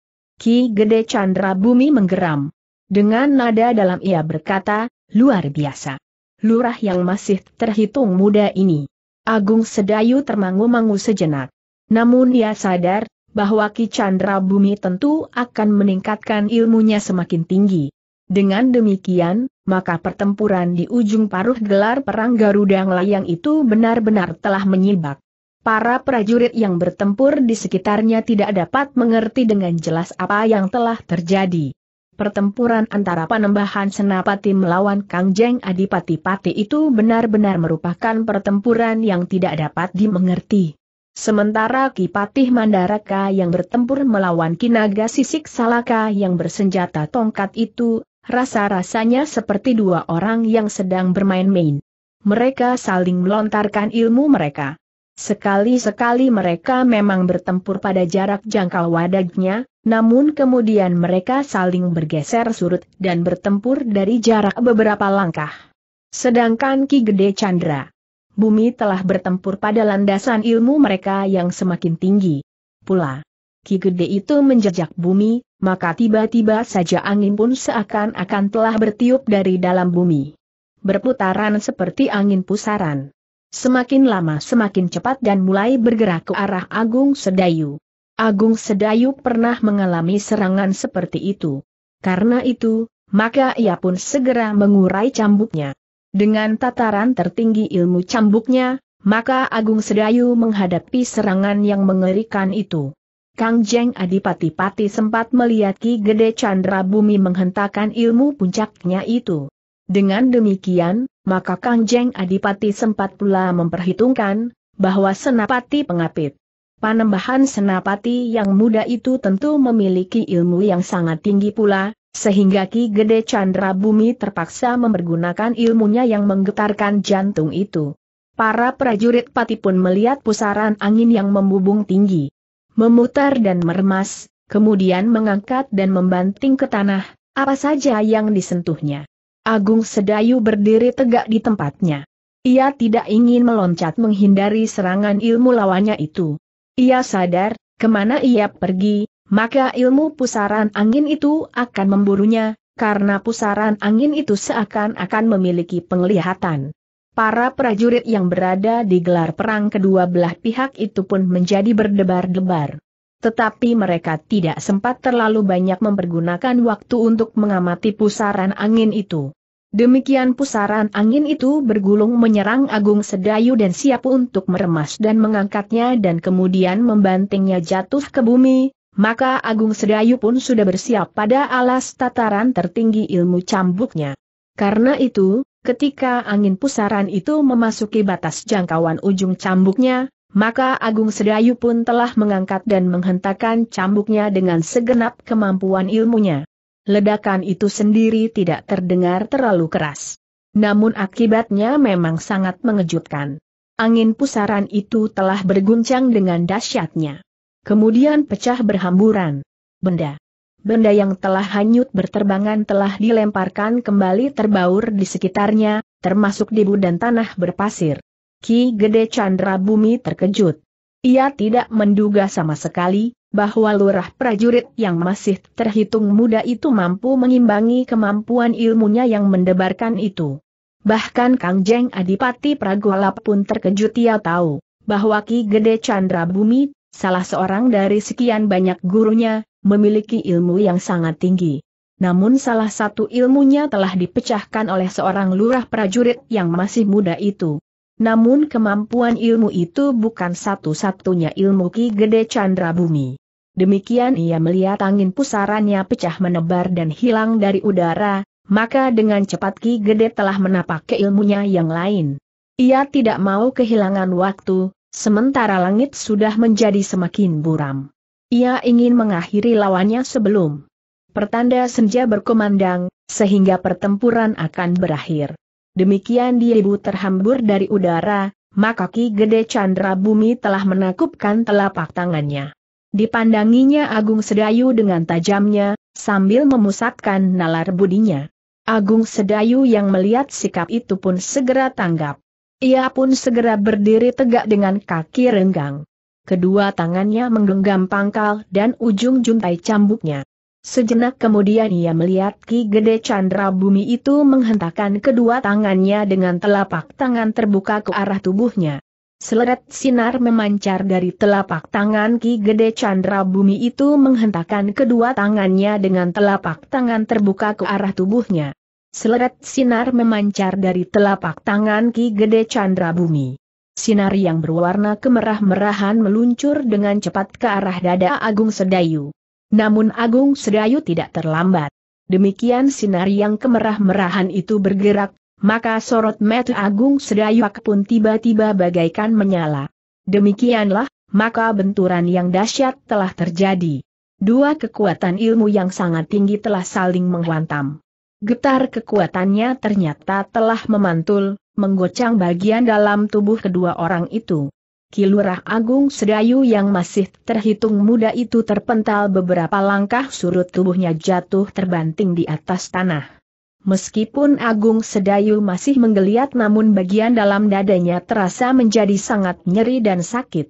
Perisai ilmu kebalnya ternyata tidak mampu menahan getar ilmunya sendiri yang memantul karena benturan yang sangat dahsyat. Sementara itu, Ki Gede Chandra Bumi pun telah terlempar surut beberapa langkah pula. Seperti Agung Sedayu, maka Ki Gede telah jatuh terlentang. Terdengar ia mengaduh tertahan. Namun suaranya kemudian seakan-akan tersumbat di kerongkongan oleh darahnya yang kemudian mengalir di sela-sela bibirnya. Para prajurit yang melihat keduanya terlempar dan terbanting jatuh itu pun untuk sesaat terhenyak ke dalam kebingungan. Namun kemudian beberapa orang segera berlari-lari mengambil tubuh itu dan membawanya ke belakang garis pertempuran. Panembahan Senapati dan Kang Jeng Adipati-Pati melihat benturan serta akibatnya. Namun keduanya tidak dapat berbuat sesuatu, karena keduanya masih tetap bertempur dengan sengitnya. Sementara itu matahari menjadi semakin rendah. Di sayap gelar perang prajurit Mataram, Untara telah mengguncang pertahanan supit lawannya. Beberapa kali supit gelar prajurit pati itu harus memperbaiki kedudukannya. Sementara itu, Suandaru yang bertempur melawan Ki Ajar terdepan menjadi semakin sengit pula. Suandaru berusaha untuk sama sekali tidak tersentuh ujung tombak Ki Ajar terdepan. Namun justru karena itu, dalam gejolak pertempuran yang terjadi, Ki Ajar tidak saja bergantung kepada ujung tombaknya. Ketika Suandaru dengan cepat menghindari ujung tombaknya. Ketika Suandaru dengan cepat menghindari ujung tombaknya. Ketika Suandaru dengan cepat menghindari ujung tombak Ki Ajar yang menyambar mematuk ke arah dada, maka Suandaru telah meloncat ke samping. Tetapi di luar dugaannya, Ki Ajar yang luput menikam sasaran dengan ujung tombak itu dengan cepat berputar. Kakinya terayun mendatar menyambar ke arah dada. Swandaru yang terkejut berusaha menghindar sekali lagi. Tetapi serangan itu datang demikian cepat, sehingga Swandaru tidak berhasil menghindari. Sepenuhnya. Kaki lawannya telah menyambar pundaknya, demikian derasnya, sehingga Suandaru itu terputar dan jatuh berguling di tanah. Ki Ajar Terapan yang melihat lawannya jatuh terguling, dengan cepat berusaha untuk memburunya. Jika ia berhasil menyentuh tubuh lawannya itu dengan ujung tombaknya, maka selesailah pertempuran yang sengit itu. Namun Suandaru menyadari keadaannya. Ia tidak tergesa-gesa bangkit, karena ia sadar, bahwa serangan lawannya akan segera dalang. Tetapi sambil berbaring, maka Suandaru telah menghentakkan cambuknya. Lawannya lah yang terkejut dengan cepat ia berusaha menghindar dengan meloncat tinggi-tinggi. Tetapi ujung cambuk Suandaru yang diberi berkarah baja itu menggeliat ujungnya sempat menyentuh betis Ki Ajar terepan. Perasaan sakit yang amat sangat telah menyengat kaki Ki Ajar. Dengan serta-merta ia meloncat mundur, sementara Suandaru dengan cepat meloncat bangkit Suandarulah yang kemudian memburu lawannya dengan ujung cambuknya. Sekali lagi terdengar Ki Ajar mengadu. Ujung cambuk itu menyentuh lambungnya. Hanya segores tipis. Tetapi darah telah mengalir pula dari luka di lambungnya itu. Ki Ajar terdepan benar-benar menjadi gelisah. Keadaannya sudah menjadi semakin sulit luka-lukanya terasa pedih, sementara luka di betisnya terasa mengganggu kecepatan geraknya. Namun dalam keadaan yang demikian, terdengar pertanda, bahwa matahari telah menyusup di balik buku. Wajah langit menjadi kemerah-merahan. Kelompok-kelompok burung bangau terbang melintas di wajah mega-mega yang menggantung di langit tanpa menghiraukan apa yang telah terjadi di bawah. Suandaru menggeram marah. Ia sudah yakin akan dapat membunuh lawannya beberapa saat lagi. Ia sudah melukai lawannya, sehingga tidak lagi mampu bertahan dengan baik. Ujung tombaknya yang beracun tajam, tidak lagi memburunya seperti seekor lalat. Ketika para prajurit dan pengawal mulai bergerak surut Suandaru itu pun berteriak lantang, aku tantang kau berperang tanding tanpa menghiraukan kesepakatan perang. Bukankah kita masing-masing bukan prajurit? Tetapi suara Suandaru itu bagaikan diterbangkan angin. Tidak seorang pun yang menghiraukannya. Ki Ajar terdepan juga tidak. Isyarat yang masih terdengar seolah-olah justru mentertawakan teriakan Suandaru itu. Suandaru menggeram marah. Ia hanya dapat memandangi dua orang yang justru sedang membantu Ki Ajar terdepan menarik diri dari medan pertempuran. Demikianlah, perlahan-lahan kedua gelar perang itu bergeser mundur. Panembahan Senapati pun telah menghentikan pertempurannya melawan Kang Jeng Adipati-Pati keduanya masih nampak segar. Seandainya mereka harus bertempur lagi sehari semalam, nampaknya mereka masih mampu melakukannya. Meskipun demikian, ketika mereka mundur dari garis pertempuran, nampak Kangjeng Adipati Peri menggeliat. Sambil memijit lambungnya. Kemudian menghentakkan kedua tangannya berganti-ganti. Meskipun Kangjeng Adipati juga merasa letih. Yang lebih letih lagi adalah perasaan Kang Jeng Adipati-Pati. Satu kenyataan harus dihadapinya. Salah seorang gurunya, Ki Gede Chandra Bumi, ternyata telah terluka parah di bagian dalam tubuhnya. Keadaannya lemah sekali, dan bahkan suaranya hampir tidak dapat didengar lagi. Guru, desis Kang Jeng Adipati-Pati di dekat tubuh yang telah diangkat dengan tandu yang dipersiapkan dengan tergesa-gesa itu. Ki Gede Chandra Bumi membuka matanya. Katanya dengan nada suara yang dalam, anak itu luar biasa. Aku melihat ciri-ciri unsur geraknya yang rumit dan sulit dimengerti. Juga ilmunya yang dua tiga ganda. Kang Jeng Adipati-Pati termangu-mangu sejenak. Namun kemudian katanya, guru akan segera sembuh. Tanda pisah M. Ki Gede Chandra Bumi mencoba untuk menarik nafas dalam-dalam tetapi dadanya terasa sakit, seakan-akan ujung duri kemarung bersarang di dalam paru-parunya. Kang Jeng Adipati-Pati tidak bertanya lagi. Ia berjalan dengan kepala tunduk di sebelah tandu yang membawa Ki Gede Chandra Bumi. Di sebelahnya Kinaga Sisik Salaka juga berjalan bertelekan tongkatnya. Tetapi Kinaga Sisik Salaka itu tidak mengatakan sesuatu. Demikianlah maka beberapa saat kemudian, Kedua pasukan itu sudah berada di pasanggerahan mereka masing-masing. Ketika malam turun, maka kedua belah pihak telah mengirimkan kelompok-kelompok untuk mencari kawan-kawan mereka yang menjadi korban, yang gugur dan yang terluka. Di perkemahan Kang Jeng Adipati-Pati telah mengumpulkan para panglima dan senapati perang. Dari mereka Kang Jeng Adipati-Pati mendapat laporan bahwa pasukan Pati itu telah mengalami luka yang cukup parah. Kinaga Sisik Salaka, meskipun tidak terluka menurut wujud lahiriahnya, namun sebenarnya lah Kinaga Sisik Salaka memerlukan kesempatan untuk beristirahat. Benturan-benturan ilmu yang dilakukan dengan Kipatih Mandaraka membuat Kinaga Sisik Salaka menjadi sangat letih. Bahkan beberapa bagian tubuhnya merasa nyeri dan pedih, Bahkan beberapa senapati di sayap gelar pasukannya telah mengalami tekanan yang cukup berat dari pasukan Mataram. Karena itu, maka Kangjeng Adipati-Pati pun memutuskan untuk tidak turun ke gelanggang perak esok pagi. Tetapi kita harus tetap berhati-hati. Mungkin sekali Panembahan Senapati membawa pasukannya yang sudah terlanjur dipersiapkan menyerang perkemahan kami. Namun seorang senapati pati berkata, aku kira Mataram tidak akan mempertaruhkan pasukannya untuk melakukan hal itu. Seandainya Mataram benar-benar melakukannya, alangkah bodohnya orang-orang Mataram itu, karena untuk memecahkan sebuah pertahanan. Diperlukan kekuatan yang jauh lebih besar dari kekuatan pertahanan itu sendiri. Kang Jeng Adipati mengangguk-angguk. Katanya besok, kita akan menilai kekuatan dan kemampuan kita.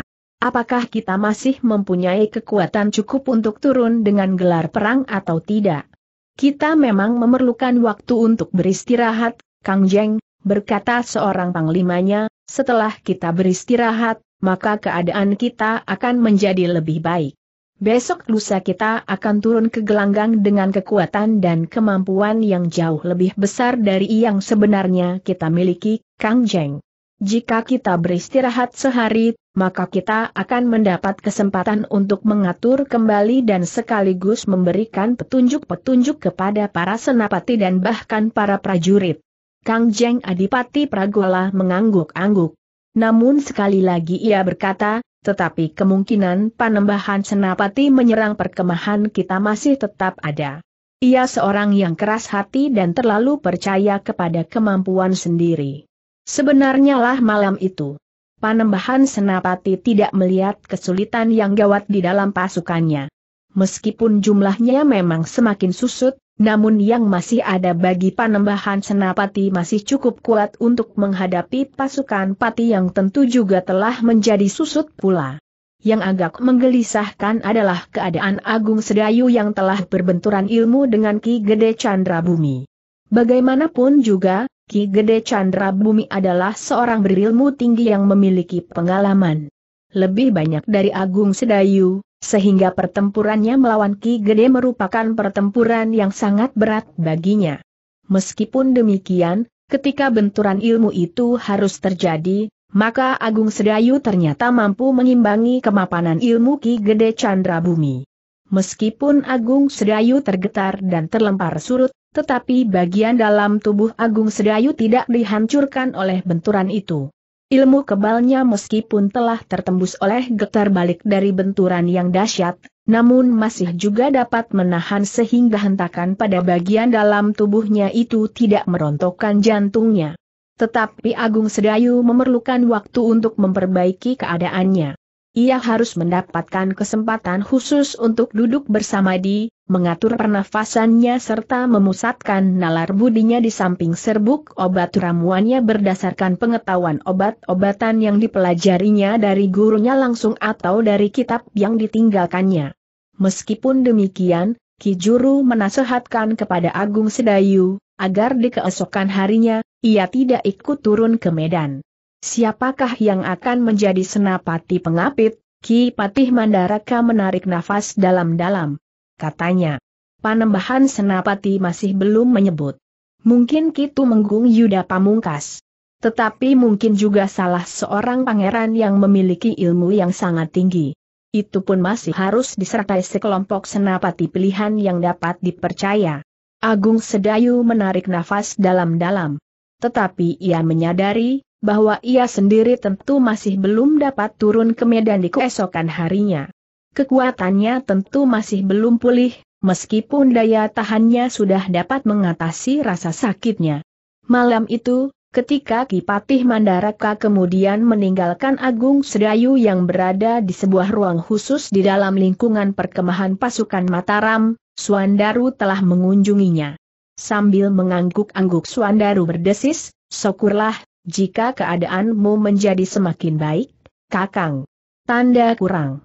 Yang Maha Agung masih melindungi aku, desis Agung Sedayu. Untunglah bahwa lawanmu bukan seorang yang memiliki ilmu yang sangat tinggi, sehingga meskipun kau terluka, tetapi kau masih mampu bertahan dan bahkan mengatasinya. Agung Sedayu mengangguk-angguk. Sementara itu Swandaru pun berkata, ternyata yang kau katakan itu benar, Kakang. Sayap gelar perang dapat menentukan akhir dari pertempuran. Sementara kemenangan di sayap gelar dapat ditentukan pula oleh kelebihan bagian atau kelompok-kelompok tertentu dalam sayap gelar itu. Agung Sedayu masih saja mengangguk-angguk. Dalam pada itu, maka Swandaru pun telah menceritakan kemenangan-kemenangannya melawan Senapati-Pati dan kemudian melawan Ki Ajar Terepan. Jika saja aku mendapat waktu lebih banyak, aku tentu sudah membunuh keduanya. Ki Ajar Terpan adalah seorang hamba istana yang dipercaya untuk merawat pusaka-pusaka Kangjeng Adipati-Pati. Ia adalah seorang yang ilmunya sangat tinggi. Ia memiliki pusaka yang sangat dipercayanya, yang setiap goresan ujung rambut sekalipun, akan dapat membunuh lawannya karena racun yang sangat tajam. Untunglah bahwa kau tidak tersentuh ujung tombak itu, desis Agung Sedayu. Jika kau memiliki kemauan berlatih serta niat dan ketekunan yang tinggi, kau pun tentu dapat melakukannya. Kau tidak akan selalu dilukai oleh lawan-lawanmu menurut pengetahuanku, hampir setiap kali kakang turun di medan pertempuran, maka kakang selalu terluka. Kadang-kadang tidak terlalu parah. Tetapi kadang-kadang parah sekali. Agung Sedayu memandang wajah Suandaru sekilas. Tetapi wajah itu nampaknya wajar sekali. Swandaru memang merasa berhak untuk mengatakan hal itu kepadanya. Swandaru ternyata masih berkata selanjutnya Kakang. Berapa kali aku menganjurkan Kakang untuk lebih banyak berada di dalam sanggar. Meskipun Kakang seorang lurah prajurit, tetapi Kakang harus menyisihkan waktu bagi kepentingan Kakang sendiri.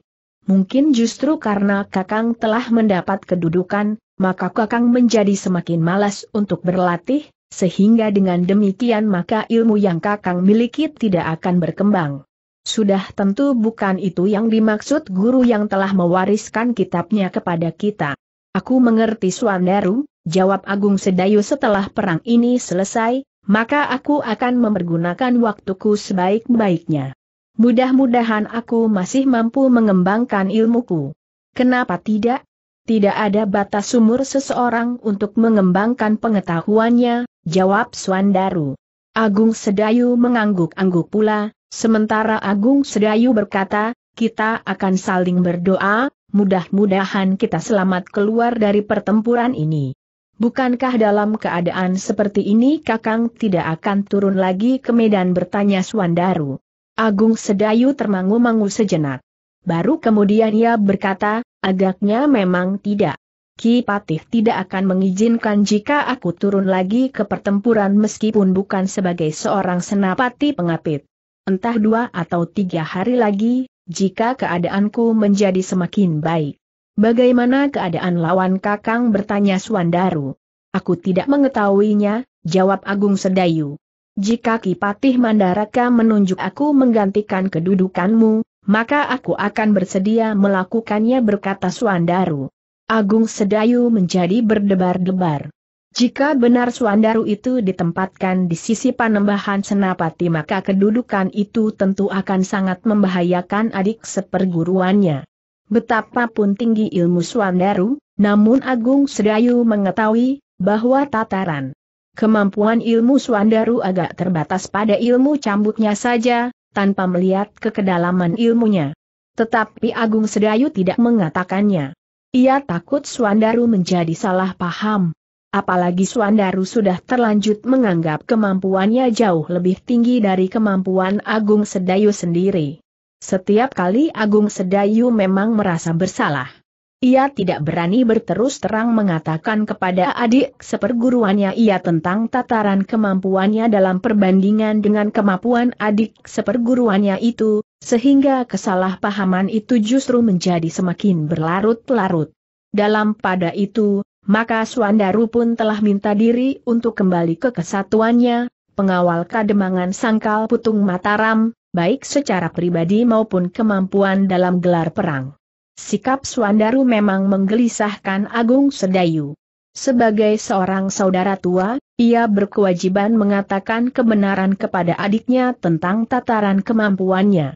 Tetapi ternyata Agung Sedayu tidak mampu melakukannya. Dalam pada itu, maka perkemahan pasukan Mataram itu pun semakin lama menjadi semakin sepi. Para prajurit memanfaatkan waktu sebaik-baiknya untuk beristirahat. Mereka akan bersiap di dini hari untuk segera menyusun gelar perang. Tidak banyak perubahan terjadi dalam susunan kekuatan. Baik para senapati maupun kesatuan-kesatuan yang ada di dalamnya. Untuk menggantikan Agung Sedayu, Panembahan Senapati memang tidak menunjuk seorang pangeran. Tetapi Panembahan Senapati telah menunjuk Kitu Menggung Yuda Pamungkas didampingi dua orang senapati pilihan. Dalam pada itu, Suandaru di kemahnya memang menunggu. Mungkin ia akan bermimpi ditimpa rembulan bulat di saat purnama. Betapapun kecilnya ia memang berpengharapan untuk dipanggil oleh Kipatih Mandaraka atau oleh Panembahan Senapati sendiri untuk mi. Nerima perintah agar ia menggantikan kedudukan Agung Sedayu menjadi senapati pengapit. Tetapi perintah itu ternyata tidak pernah diturunkan. Menjelang pagi, maka para prajurit Mataram itu pun sudah bersiap. Mereka sudah berada di kesatuan mereka masing-masing yang setiap saat akan segera memasuki gelar sebagaimana direncanakan. Namun ketika segala-galanya sudah disiapkan untuk segera mendapat isyarat untuk memasuki gelar, ternyata Panembahan Senapati mendapat laporan dari para pengawas, bahwa mereka tidak melihat gerak pasukan Pati menyusun gelar perang. Menurut pengamatan kami, maka pasukan Pati tidak akan keluar dari dinding perkemahan mereka yang mereka buat dari batang kelapa yang cukup tinggi. Kenapa kau menganggap begitu? bertanya Kipatih Mandaraka yang mengerutkan dahinya. Kami melihat pasukan Pati mempersiapkan benteng mereka semakin mapan dan kuat mereka telah membuat beberapa panggung di belakang dinding perkemahan. Dari panggung itu para prajurit Pati akan menghambat. Gerak maju pasukan Mataram.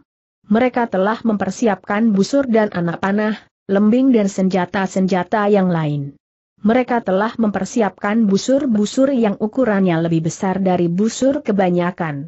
Ki Patih mengangguk-angguk. Tetapi agaknya Panembahan Senapati ingin membuktikannya kebenaran laporan itu. Karena itu, maka Panembahan Senapati telah mengirimkan petugas-petugas sandi yang khusus pula. Sebenarnya lah laporan yang diterima kemudian adalah sama seperti laporan sebelumnya bahwa pasukan Pati nampaknya tidak akan bergerak keluar dari dinding yang mengelilingi perkemahannya. Karena itu, mereka telah mempersiapkan pertahanan yang sangat kuat. Panembahan Senapati memang menjadi bimbang. Apakah ia akan menyerang perkemahan itu atau tidak? Namun Kipatih Mandaraka pun kemudian berkata sebaiknya kita beristirahat hari ini nger. Kita belum siap untuk menyerang pertahanan pati yang kuat itu. Karena itu, kita memaksa diri menyerang benteng pertahanan pati itu, ger, maka korban akan terlalu banyak yang jatuh. Panembahan Senapati mengangguk-angguk. Katanya, baiklah. Kita beristirahat hari ini. Keputusan itu memang menimbulkan perbedaan pendapat tetapi para prajurit dan pengawal, tetap patuh kepada perintah Panembahan Senapati. Seorang senapati yang tidak dapat mengerti kenapa serangan harus ditunda berdesis kepada kawannya. Justru kita mendapat kesempatan yang paling baik untuk menghancurkan pati di perkemahannya. Untuk menyerang sebuah perkemahan, apalagi yang telah sempat membangun benteng seperti pasukan pati itu memang diperlukan kekuatan yang sangat besar. mungkin kita dapat memecahkan pertahanan mereka dan memasuki dinding perkemahan untuk mengusir mereka. Tetapi yang dicemaskan oleh Panembahan Senapati adalah jumlah korban yang tidak terkendali. Jadi jatuh korban, bukan hanya dari pihak kita. Tetapi prajurit pati pun akan memberikan korban yang banyak sekali. Itulah yang tidak diinginkan oleh Panembahan Senapati. Apakah itu prajurit Mataram atau prajurit Pati, tetapi setiap nyawa harus mendapat perhatian. Jika demikian, kenapa kita harus berperang? Kenapa kita tidak mengiyakan saja semua kehendak Angjeng Adipati-Pati? Jika demikian, maka tidak akan ada korban yang jatuh, berkata Senapati itu, bagi seorang prajurit, berperang adalah pekerjaan seorang laki-laki, sebagaimana seorang perempuan harus melahirkan anak-anaknya. Tetapi Panembahan Senapati juga memikirkan, apakah jumlah korban yang jatuh itu tidak dapat ditawar lagi. Meskipun kita seorang prajurit yang memang dipersiapkan untuk perang, tetapi bagi Panembahan Senapati, adalah lebih baik jika kita dapat memenangkan perang dengan korban yang sesedikit-sedikitnya. Senapati itu tidak menjawab lagi. Tetapi wajahnya nampak gelap. Ia benar-benar merasa kecewa, bahwa pasukan yang sudah siap itu tidak jadi bergerak. Panembahan Senapati mengerti, bahwa ada di antara prajuritnya dan bahkan senapati yang merasa kecewa atas keputusannya. Karena itu, maka panembahan senapati itu pun melengkapi perintahnya dengan perintah berikutnya, setiap senapati harus mempersiapkan diri sebaik-baiknya. Besok, pasukan Mataram akan menyerang. Jika pasukan Pati tidak keluar dari dinding perkemahannya, maka pasukan Mataram akan menyerang perkemahan itu. Karena itu, setiap senapati harus menempatkan diri sesuai dengan kemungkinan yang dapat terjadi. Perintah itu dapat mengurangi kekecewaan di dada para prajurit dan senapati yang ingin segera menyelesaikan pertempuran dengan mendesak pati mundur sampai ke sebelah utara pegunungan Kendeng. Meskipun pada hari itu, pasukan Mataram tidak turun ke medan, namun pengawasan dan perlindungan terhadap perkemahan dilakukan dengan bersungguh-sungguh. Mataram menyadari, jika mereka lengah, maka pasukannya akan dihancurkan oleh pasukan Pati. Sementara hari itu pasukan Mataram tidak turun ke medan, maka para senapati telah mendapat perintah dan petunjuk-petunjuk khusus apa yang harus mereka lakukan jika mereka menyerang pertahanan Pati di belakang benteng batang kelapa mereka dan kokoh.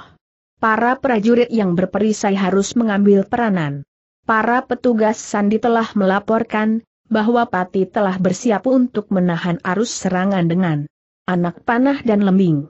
Bahkan secara khusus, sekelompok pejurit telah mempersiapkan busur yang lebih besar dari ukuran busur kebanyakan. Agung Sedayu yang terluka bagian dalam tubuhnya, merasa kecewa bahwa ia tidak mendapat kesempatan untuk ikut bertempur menyerang benteng pertahanan di perkemahan pasukan Pati.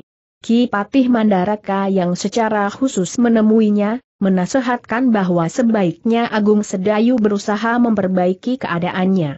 Menyembuhkan luka dalam yang dideritanya.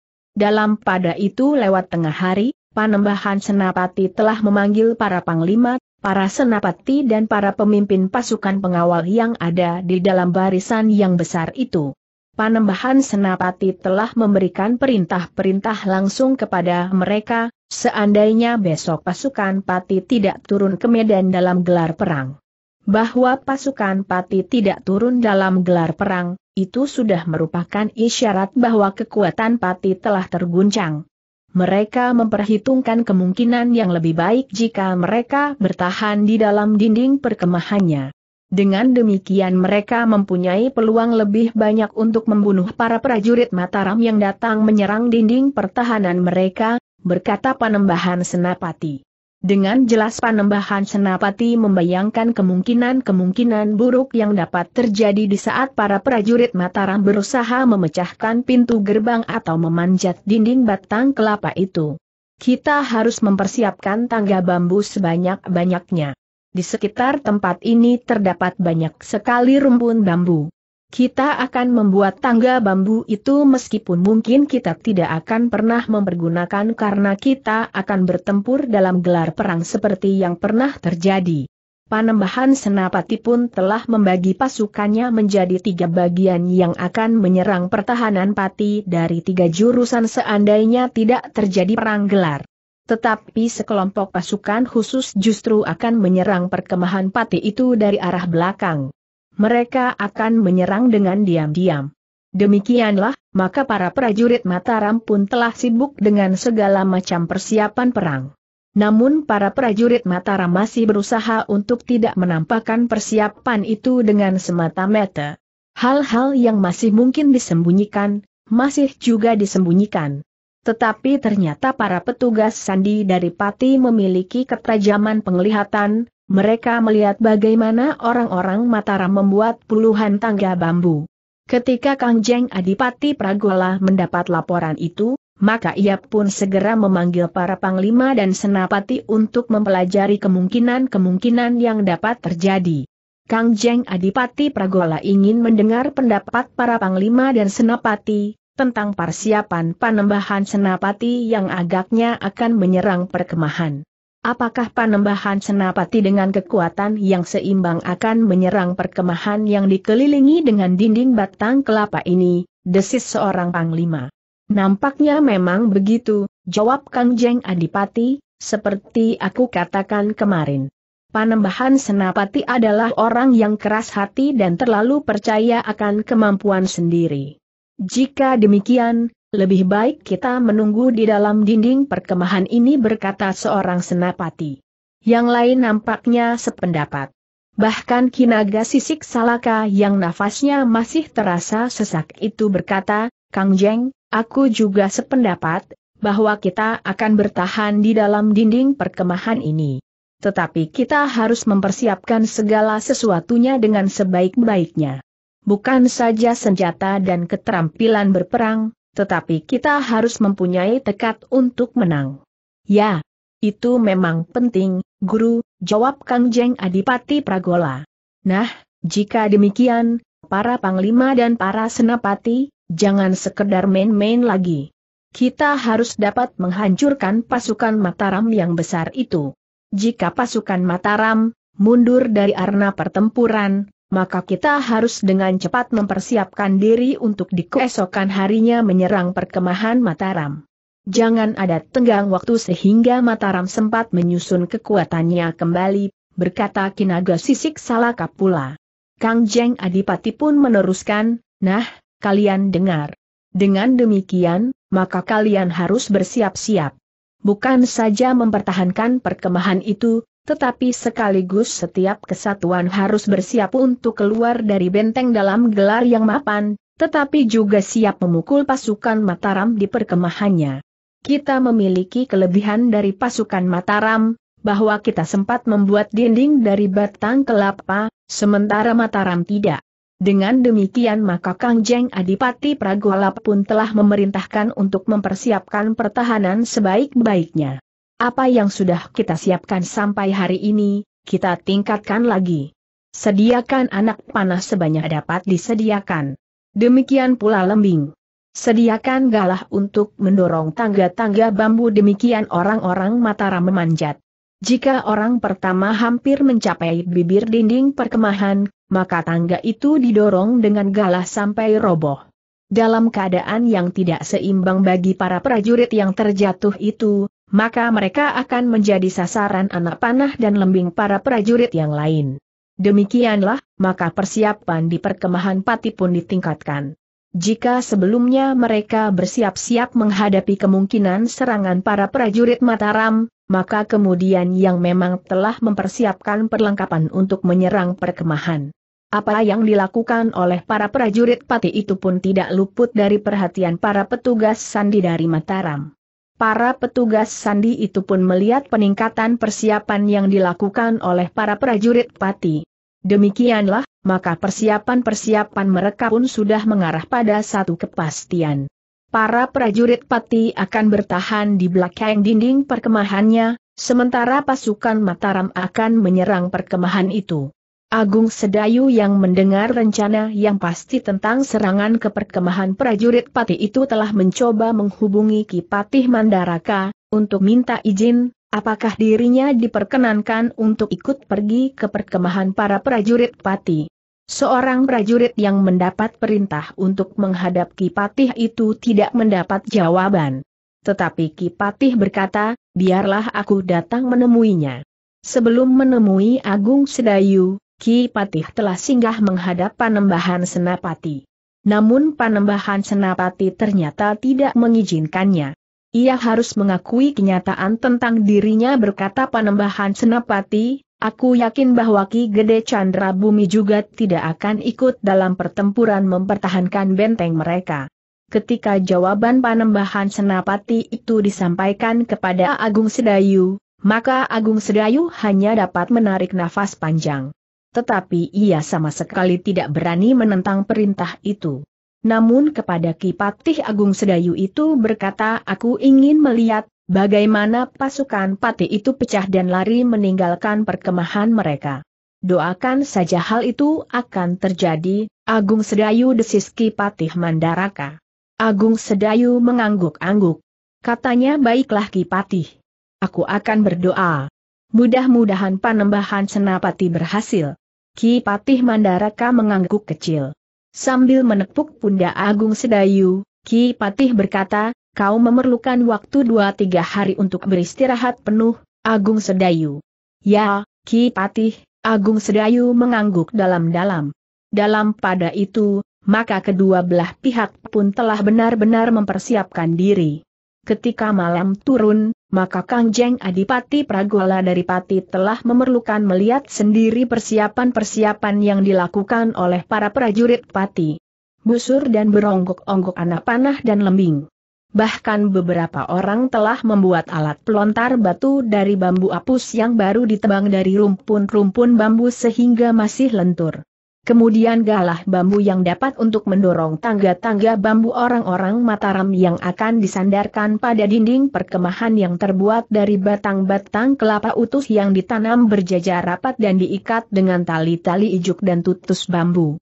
Sementara itu, di perkemahan orang-orang Mataram, Panembahan Senapati telah menyampaikan pesan-pesan terakhir bagi para pasukan yang terdiri dari para prajurit dan bukan prajurit. Sedangkan yang bukan prajurit pun terbagi atas mereka yang memiliki kemampuan setingkat dengan prajurit dan tidak untuk menyerang benteng pertahanan satu pasukan yang kuat. Kita benar-benar harus mempunyai perhitungan yang cermat, berkata Panembahan Senapati. Setelah Panembahan Senapati merasa cukup memberikan pesan-pesan dan perintah-perintah, maka para prajurit Mataram itu pun segera diperintahkan untuk beristirahat. Besok kita akan memeras tenaga dan kemampuan kita. Malam itu, Swandaru memerlukan lagi menemui Agung Sedayu sebentar.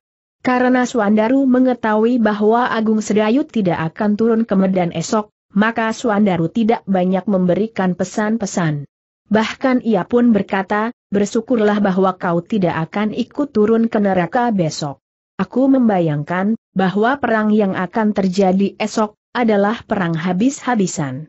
Mataram akan berusaha dengan segenap kemampuannya untuk merebut benteng orang-orang Pati dan mengusirnya sampai ke sebelah utara pegunungan Kendeng, sementara orang-orang Pati akan mempertahankan benteng itu habis-habisan. Agung Sedayu mengangguk-angguk. Katanya kemudian, berhati-hatilah kau Adi Suandaru. Betapapun tinggi ilmu seseorang, namun ia tentu masih memiliki kelemahan-kelemahan. Suandaru tersenyum. Katanya, baik kakang. Aku akan berhati-hati tetapi bekal seseorang untuk turun. Kemedan perang akan ikut menentukan, apakah ia akan berhasil atau tidak. Agung Sedayu mengangguk-angguk. Katanya, ya. Tetapi kesadaran diri untuk berhati-hati tetap penting. Kepercayaan diri yang berlebih-lebihan kadang-kadang sering merugikan diri sendiri, karena orang itu akan salah menilai medan. Swandaru bahkan tertawa. Katanya, ya, ya, aku mengerti. Tetapi apakah menurut Kakang, aku terlalu percaya kepada diriku sendiri, bahkan agak berlebihan? Tanda pisah M. bukankah setiap orang mungkin sekali dihinggapi perasaan yang demikian pada suatu saat? Sahut Agung Sedayu. Suandaru mengangguk-angguk. Katanya, ya. Seseorang kadang-kadang memang tidak dapat mengukur kemampuan diri. Tetapi aku tidak pernah lepas dari kendali kesadaranku, sehingga aku mampu menilai lawan-lawanku dan lingkungan pertempuran di sekeli. Lingku dan baik. Syukurlah, Agung Sedayu mengangguk-angguk, mudah-mudahan kau dan seluruh kekuatan Mataram akan berhasil. Mudah-mudahan serangan ke benteng orang-orang pati itu mampu memecahkan pertahanan mereka besok. Dengan demikian, kami tidak usah mengulanginya lagi besok. Dengan demikian, kami tidak usah mengulanginya lagi besok lusa, berkata Suandaru. Demikianlah, maka Suandaru pun segera minta diri untuk beristirahat. Namun ketika ia berbaring di antara para pengawal kademangan sangkal pulung, maka ia teringat lagi pesan Agung Sedayu, agar seseorang tidak terlalu percaya kepada diri sendiri sehingga akan salah menilai medan. Apakah Kakang Agung Sedayu menganggap penilaianku atas kemampuanku itu berlebihan? Bertanya Swandaru di dalam hatinya. Swandaru justru merasa kecewa, bahwa ia tidak pernah berada di satu lingkaran medan pertempuran dengan kakak seperguruannya itu. Jika saja mereka berada di dalam satu lingkaran medan, maka ia akan dapat memperlihatkan kepada kakak seperguruannya itu kenyataan tentang ilmunya yang tinggi. Seharusnya Kakang Agung Sedayu sempat melihat sendiri, apa yang dapat aku lakukan di medan pertempuran, berkata Suandaru di dalam hatinya. Sementara itu, Agung Sedayu yang dianggap masih belum sembuh benar dari luka-luka di dalam dirinya itu, duduk menyilangkan kakinya di sudut pembaringannya. Ia minta kepada dua orang pemimpin kelompok yang melaksanakan tugasnya selama ia tidak dapat turun ke medan untuk menjaga agar ia tidak terganggu.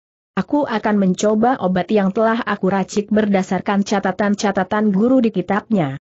Obat itu termasuk obat yang keras. Usahakan agar aku tidak terganggu. Namun jika keadaanku menjadi buruk karena obat itu, kau harus berusaha untuk memasukkan obat yang lain ke dalam mulutku hingga tertelan, berkata. Agung Sedayu sambil memberikan dua butir obat kepada mereka. Kedua orang itu saling berpandangan sejenak mereka masih belum memahami benar-benar pesan Agung Sedayu itu. Agaknya Agung Sedayu mengerti keragu-raguan di hati keduanya. Karena itu, maka ia pun segera menjelaskan, aku akan menelan obat yang terhitung keras itu. Jika saat obat itu bekerja di dalam tubuhku menimbulkan akibat buruk padaku, sehingga aku menjadi pingsan, maka kalian harus berusaha membuka mulutku dan memasukkan kedua butir obat itu sehingga tertelan. Jika kalian mengalami kesulitan, kalian dapat menuangkan cairan sedikit demi sedikit, sehingga obat itu akan hanyut lewat tenggorokanku dan meredam kekuatan obat yang lebih dahulu ku telan. Tetapi jika kalian terlambat atau tidak berhasil memasukkan obat itu ke dalam tenggorokanku, maka akibat buruk itu akan menjadi semakin buruk bagiku. Tetapi, kami tidak terbiasa melalukannya, desis yang seorang di antara kedua prajurit itu. Kau akan dapat melakukannya. Hanya jika keadaanku menjadi sangat buruk sehingga aku menjadi pingsan. Jika tidak, kalian tidak usah berusaha memasukkan obat itu ke dalam tenggorokanku. Keduanya masih tetap ragu-ragu. Tetapi Agung Sedayu berkata pula, lakukan. Jangan bimbang. Kalian harus yakin bahwa kalian dapat melakukannya.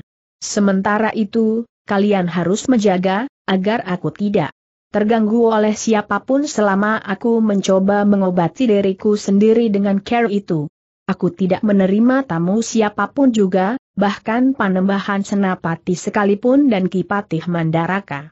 Hanya jika mereka yang datang, kau harus dapat memberikan penjelasan sehingga mereka dapat mengerti. Kedua orang itu mengangguk-angguk, betapapun mereka merasa beban tugas itu terasa sangat berat bagi mereka berdua. Meskipun demikian, mereka berdua bertekad untuk dapat melaksanakan dengan sebaik-baiknya. Demikianlah, maka Agung Sedayu pun telah menelan ramuan obat-obatan yang disebutnya mempunyai kekuatan yang keras. Dengan beberapa teguk air masak yang sudah didinginkan, maka obat yang berupa serbuk lembut berwarna kecoklat-coklatan itu didorong masuk lewat tenggorokannya. Kedua orang prajurit yang menungguinya itu menjadi tegang. Mereka melihat Agung Sedayu itu pun kemudian duduk dengan menyilangkan kaki dan tangannya di sudut pembaringannya sambil mi mejamkan matanya. Sementara salah seorang dari keduanya memegang sebuah bumbung kecil yang berisi dua butir obat untuk menawarkan obat yang telah ditelan oleh Agung Sedayu itu apabila keadaannya menjadi sangat buruk. Untuk beberapa saat keduanya menunggu dengan jantung yang berdebar-debar. Ketika kedua prajurit itu melihat Agung Sedayu bergetar, bahkan seolah-olah menggigil kedinginan. Maka seorang di antara keduanya berbisik, keadaannya memburuk. Tetapi belum sampai pada batas yang dikehendaki, jawab yang lain. Dengan saksama keduanya mengikuti perkembangan keadaan Agung Sedayu. Beberapa saat Agung Sedayu memang seakan-akan menggigil. Namun kemudian tubuh itu mulai berkeringat. Di kening, di leher dan bahkan di wajah Agung Sedayu keringatnya mengembun semakin banyak kemudian mengalir dan menetes jatuh. Tetapi Agung Sedayu masih tetap duduk menyilangkan kaki dan tangannya. Wajahnya menunduk dengan metu yang masih juga terpejam. Kerut di dahinya nampak menjadi semakin dalam. Ia menjadi kesakitan, desis salah seorang prajurit yang melihat perubahan wajah Agung Sedayu. Bukan kesakitan, tetapi ia menahan gejolak di dalam dirinya saat obat itu bekerja, sahut yang lain tetapi yang seorang menjadi sangat cemas melihat keadaan Agung Sedayu. Di bawah cahaya lampu minyak dilihatnya wajah Agung Sedayu menjadi pucat. Bibirnya terkatup rapat-rapat. Keadaannya memburuk sekarang, desis yang seorang. Tetapi ia tidak pingsan, sahut yang lain.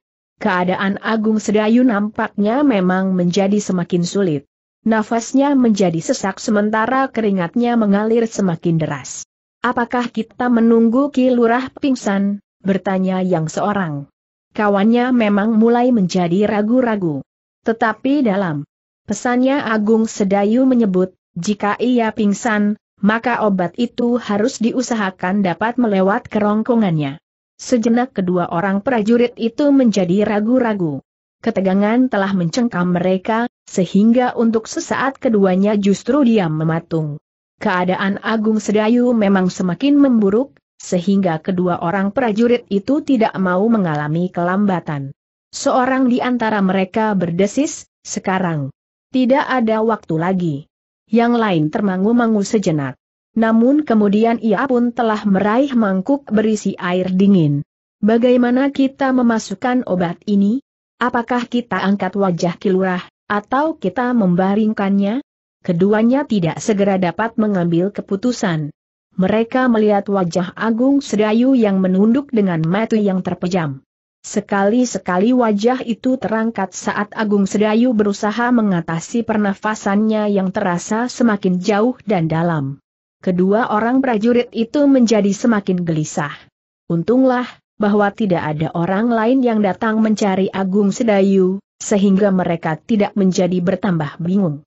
Ketika mereka kemudian mendengar desah perlahan-lahan, maka mereka tidak menunggu lebih lama lagi.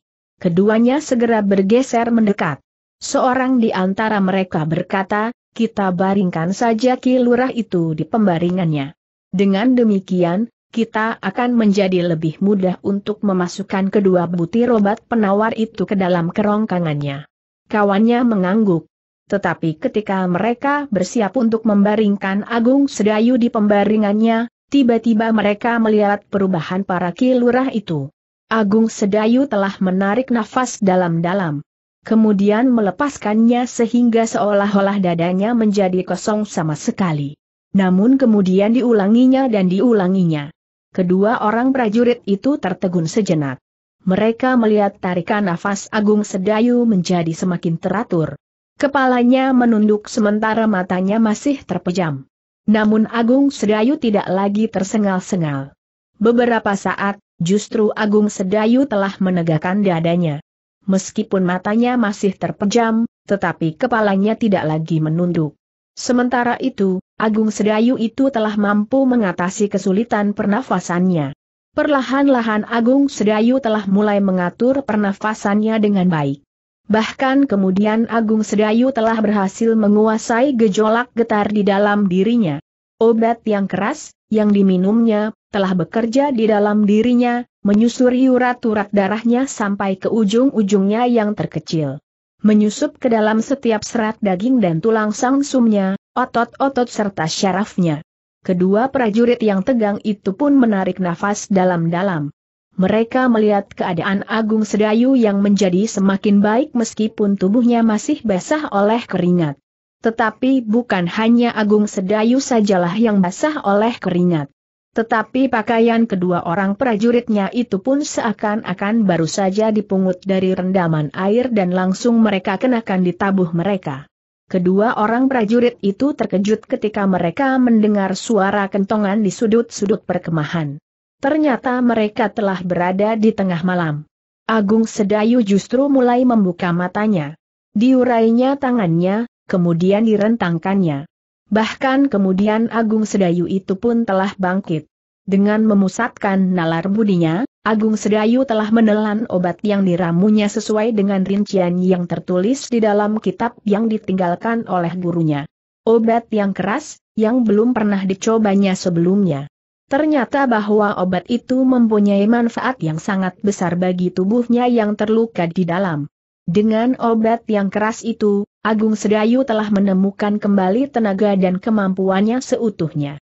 Luka di bagian dalam tubuhnya itu telah sembuh sama sekali. Namun dengan demikian, Agung Sedayu pun mengetahui, bahwa obat itu adalah obat yang berbahaya, yang tidak dapat diberikan kepada setiap orang. Hanya orang-orang yang memiliki daya tahan tubuh yang tinggi sajalah yang dapat mempergunakan. Untuk mempercepat kesembuhan. Jika seseorang tidak mempunyai daya tahan cukup tinggi, maka obat itu justru akan merusakkan jaringan-jaringan tubuhnya, sehingga akibatnya akan menjadi sebaliknya dari satu usaha penyembuhan. Kedua prajurit yang berdiri termangu-mangu itu melihat, keadaan Agung Sedayu yang menjadi segar dan tegar. Kilurah, desis seorang dari kedua orang prajurit itu. Agung Sedayu tersenyum. Katanya, aku berhasil mengobati luka-luka di dalam tubuhku. Syukurlah, Prajurit itu mengangguk-angguk, kami berdua hampir saja kehilangan akal. Ketika kami melihat keadaan kilurah, maka kami berdua telah memutuskan untuk memberikan obat penawar itu. Aku sekarang sudah menjadi baik seperti sedia kala. Apakah kilurah besok akan turun ke medan? Bertanya pemimpin kelompoknya itu. Apa tugas kalian besok? Bertanya Agung Sedayu pasukan khusus yang berada di tanah perdikan menoreh telah mendapat tugas untuk memasuki dinding perkemahan dengan diam-diam. Kalian tidak termasuk dalam kesatuan yang akan menyerang perkemahan dari arah yang terbuka, bertanya Agung Sedayu. Ya, jawab pemimpin kelompok itu.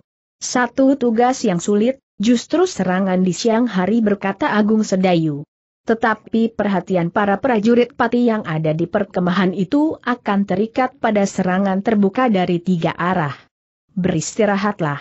Aku akan menghadap Kipatih Mandaraka, berkata Agung Sedayu kemudian. Pemimpin kelompok itu pun telah menyerahkan kembali obat penawar yang hampir saja disisipkan ke dalam mulut Agung Sedayu, yang justru akan dapat menawarkan obat yang disebutnya sangat keras itu. Ki Patih Mandaraka yang sudah mulai berbaring di pembaringannya, memerlukan untuk menemui Agung Sedayu.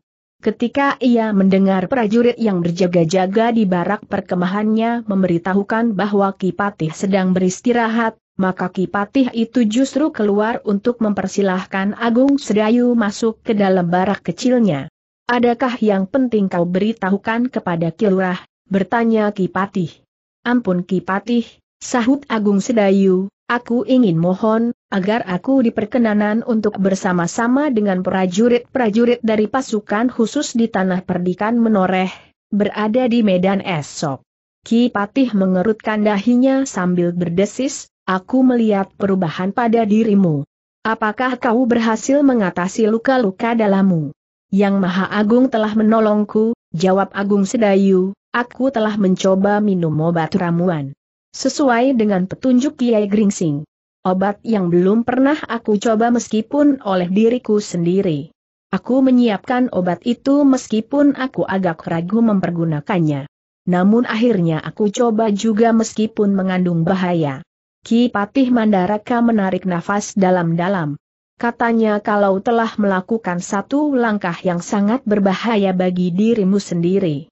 Aku sudah minta dua orang prajurit untuk bersiap-siap memberikan obat penawarnya jika keadaanku memburuk, berkata Agung Sedayu kemudian. Seharusnya kau lakukan di hadapan orang-orang tua seperti aku. Dalam keadaan yang sangat gawat, aku dapat membantumu.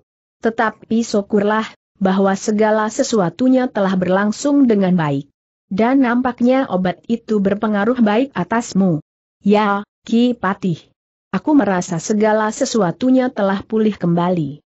Bangkitlah, berkata Ki Mandaraka kemudian berdirilah Agung Sedayu mengerti, bahwa Ki Patih ingin mengetahui, apakah ia benar-benar sudah sembuh.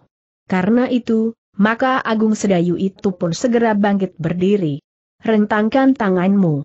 Seperti yang diperintahkan oleh Ki Patih, Agung Sedayu pun telah merentangkan tangannya. Dengan ujung-ujung jarinya Ki Patih meraba bahu, punggung, dada dan lambung Agung Sedayu. Kemudian pergelangan tangan dan pergelangan kakinya. Ki Patih menarik nafas dalam-dalam.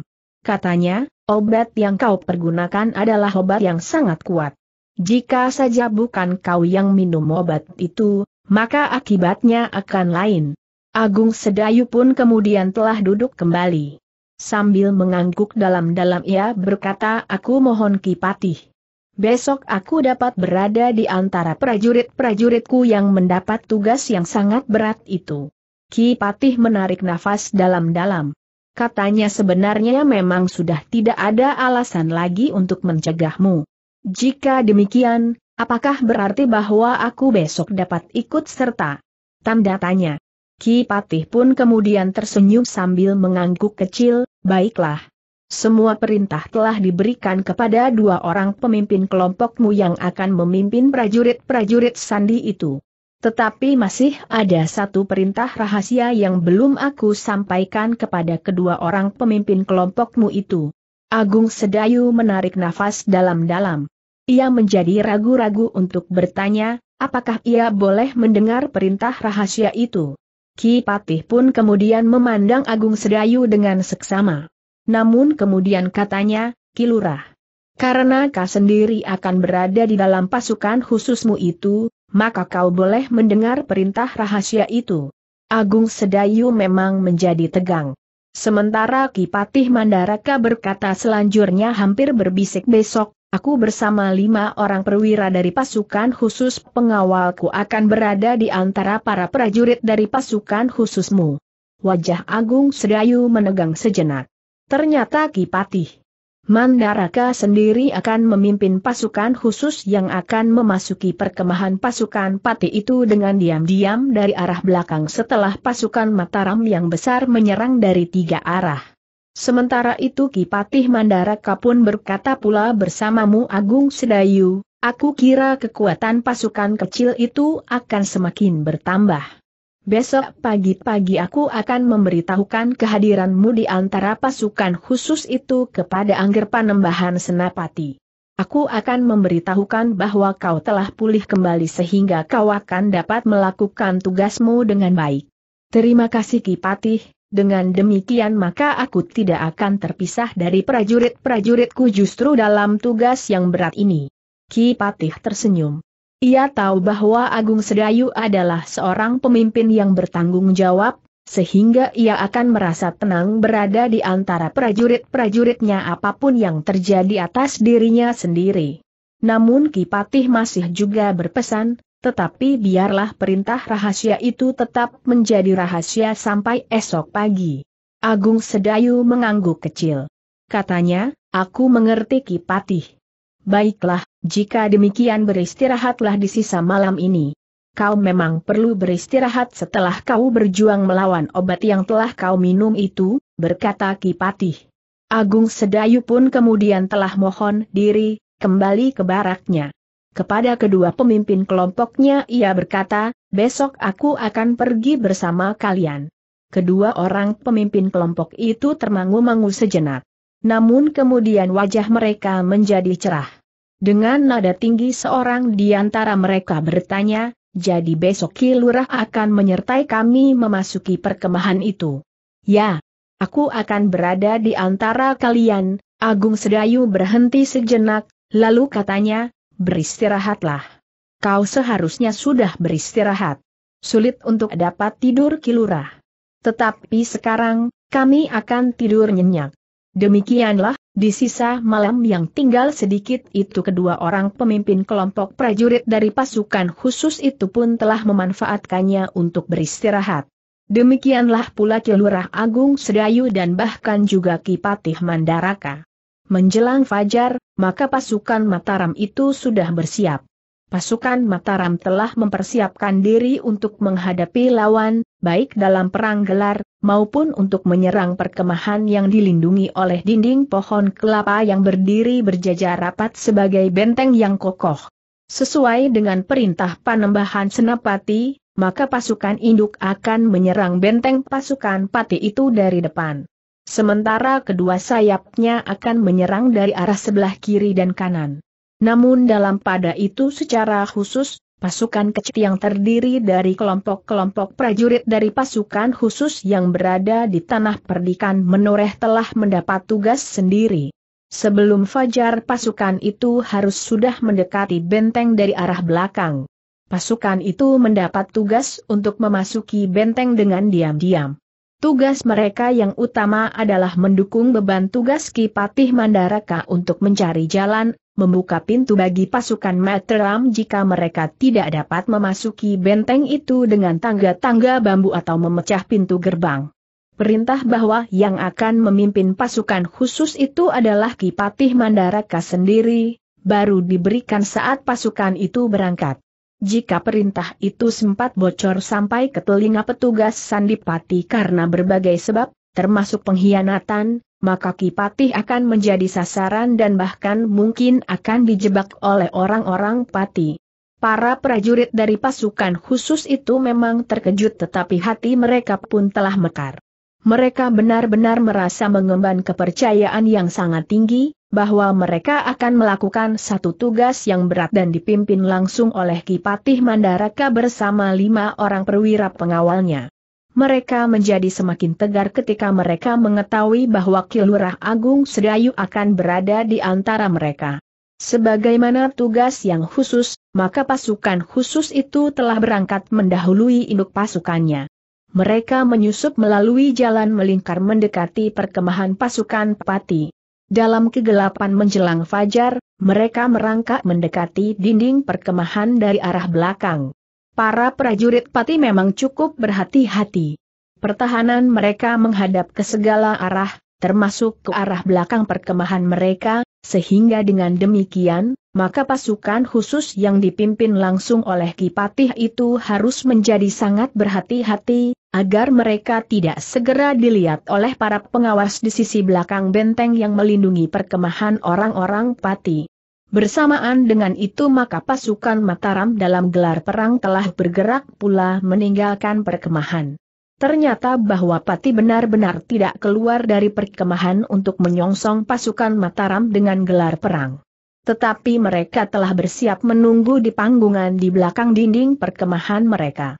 Sebelum matahari terbit, pasukan Mataram sudah berada beberapa puluh patok di depan benteng pasukan Pad. Panembahan Senapati telah memberikan isyarat kepada pasukannya untuk berhenti. Seperti yang telah diperintahkan, pasukan Mataram akan bergerak setelah Panembahan Senapati membunyikan pertanda. Di hadapan benteng yang mengelilingi perkemahan, Panembahan Senapati telah memerintahkan untuk menunjukkan segala macam tanda kebesaran Mataram.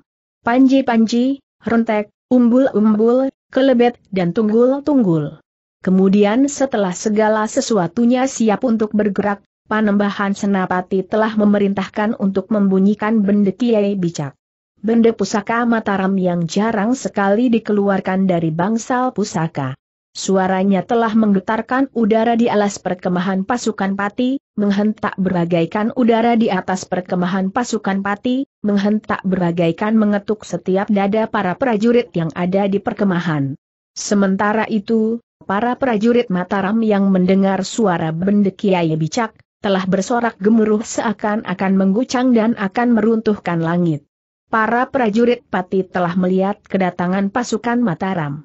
Beberapa orang petugas sandi serta pengawas telah melaporkan, bahwa Mataram dengan kekuatan penuh telah datang menyerang perkemahan sebagaimana telah mereka perhitungkan berdasarkan atas laporan-laporan para petugas sandi serta atas dasar perhitungan orang-orang pati atas sifat dan watak panembahan senapati. Tetapi suara bende kiai bicak serta gemuruh sorak prajurit Mataram benar-benar telah menghentak-hentak jantung para prajurit pati. Kang Jeng Adipati Pragola yang juga mendengar suara benda serta sorak para prajurit Mataram, ternyata juga menjadi berdebar-debar. Bukan karena gentar menghadapi lawan, tetapi suara benda dan sorak gemuruh itu akan mempunyai pengaruh jiwani terhadap prajurit-prajuritnya. Karena itu, maka Kang Jeng Adipati pun segera meneriakan perintah agar semua prajurit pati bersiap menghadapi segala kemungkinan. Ketika kemudian pasukan Mataram itu bergerak, maka para prajurit pati itu melihat dengan jelas, bahwa prajurit Mataram telah terbagi menjadi tiga.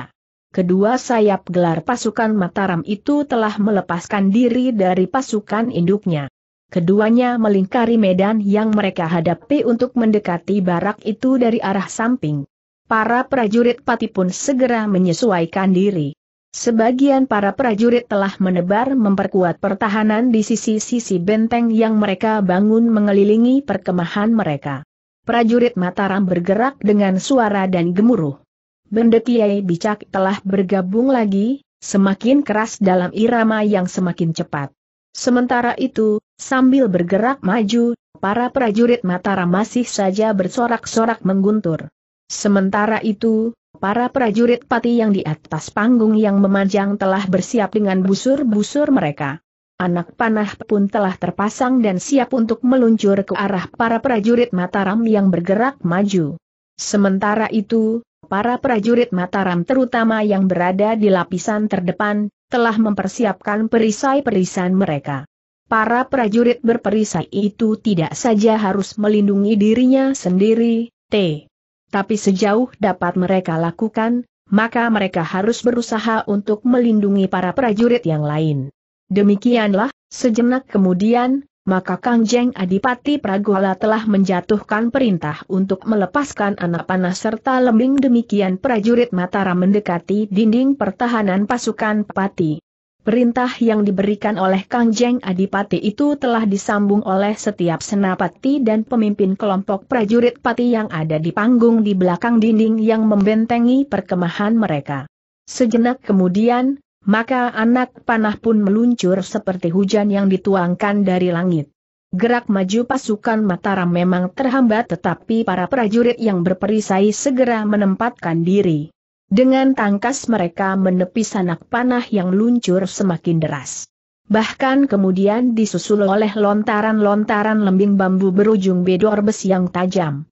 Namun dalam pada itu, para prajurit Mataram tidak sekedar membiarkan diri mereka menjadi sasaran serangan anak panah dan lembing. Namun prajurit Mataram pun telah mempersiapkan kelompok-kelompok yang bersenjata busur dan anak panah. Di bawah perlindungan perisai kawan-kawannya, maka kelompok prajurit yang bersenjata anak panah itu segera membalas serangan-serangan yang meluncur dari atas dinding batang pohon kelapa itu. Dengan demikian, maka anak panah pun meluncur dari dua arah.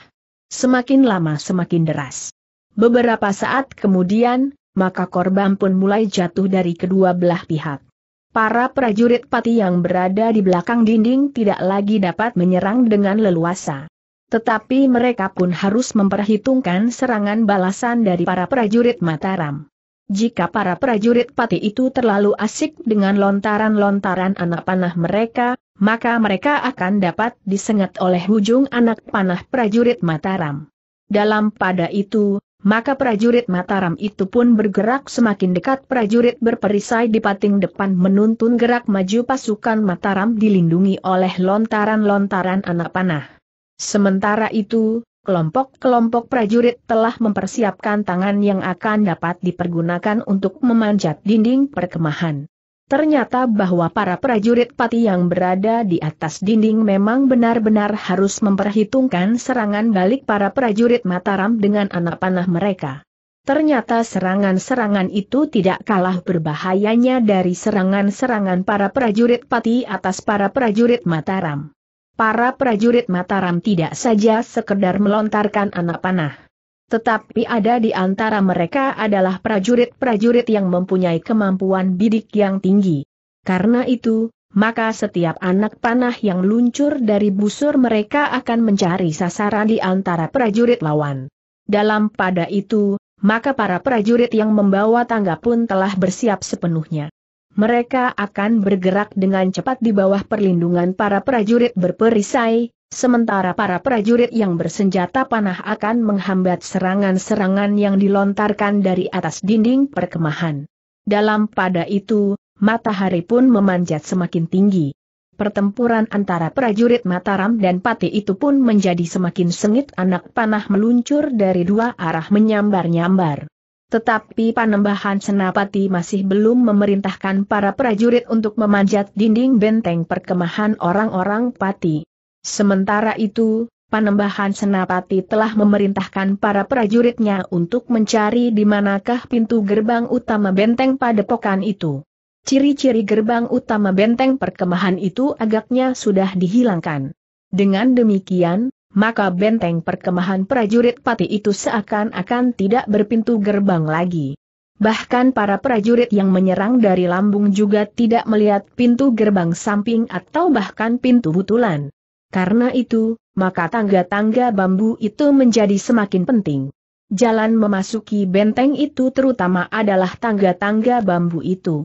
Karena itu, maka Panembahan Senapati berusaha untuk mencapai jarak yang terpendek sebelum memerintahkan para prajurit yang membawa tangga bambu itu berlari menyandarkan tangga-tangga itu untuk memanjat.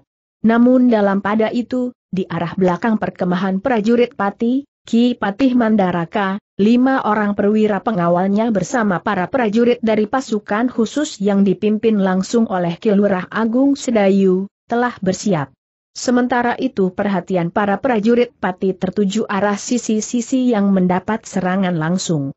Meskipun di arah belakang perkemahan itu juga ditempatkan beberapa orang pengawas, tetapi mereka menjadi lengah.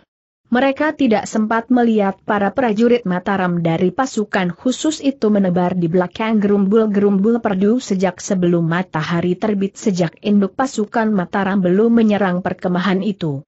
Dengan sabar Kipatih Mandaraka menunggu kesempatan.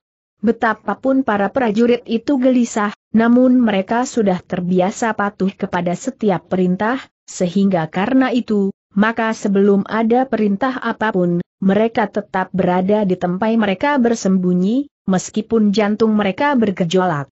Ketika pertempuran menjadi semakin sengit, lontaran anak panah meluncur dari kedua arah, sementara para prajurit pati bersiap-siap menghadapi kemungkinan orang-orang Mataram memasang tangga-tangga bambu, maka perhatian terhadap bagian belakang benteng perkemahan prajurit pati itu menjadi semakin lengah. Dalam keadaan yang demikian, maka Kipatih Mandaraka telah memberikan isyarat kepada kelima orang perwira pengawalnya serta Agung Sedayu, untuk segera mempersiapkan diri.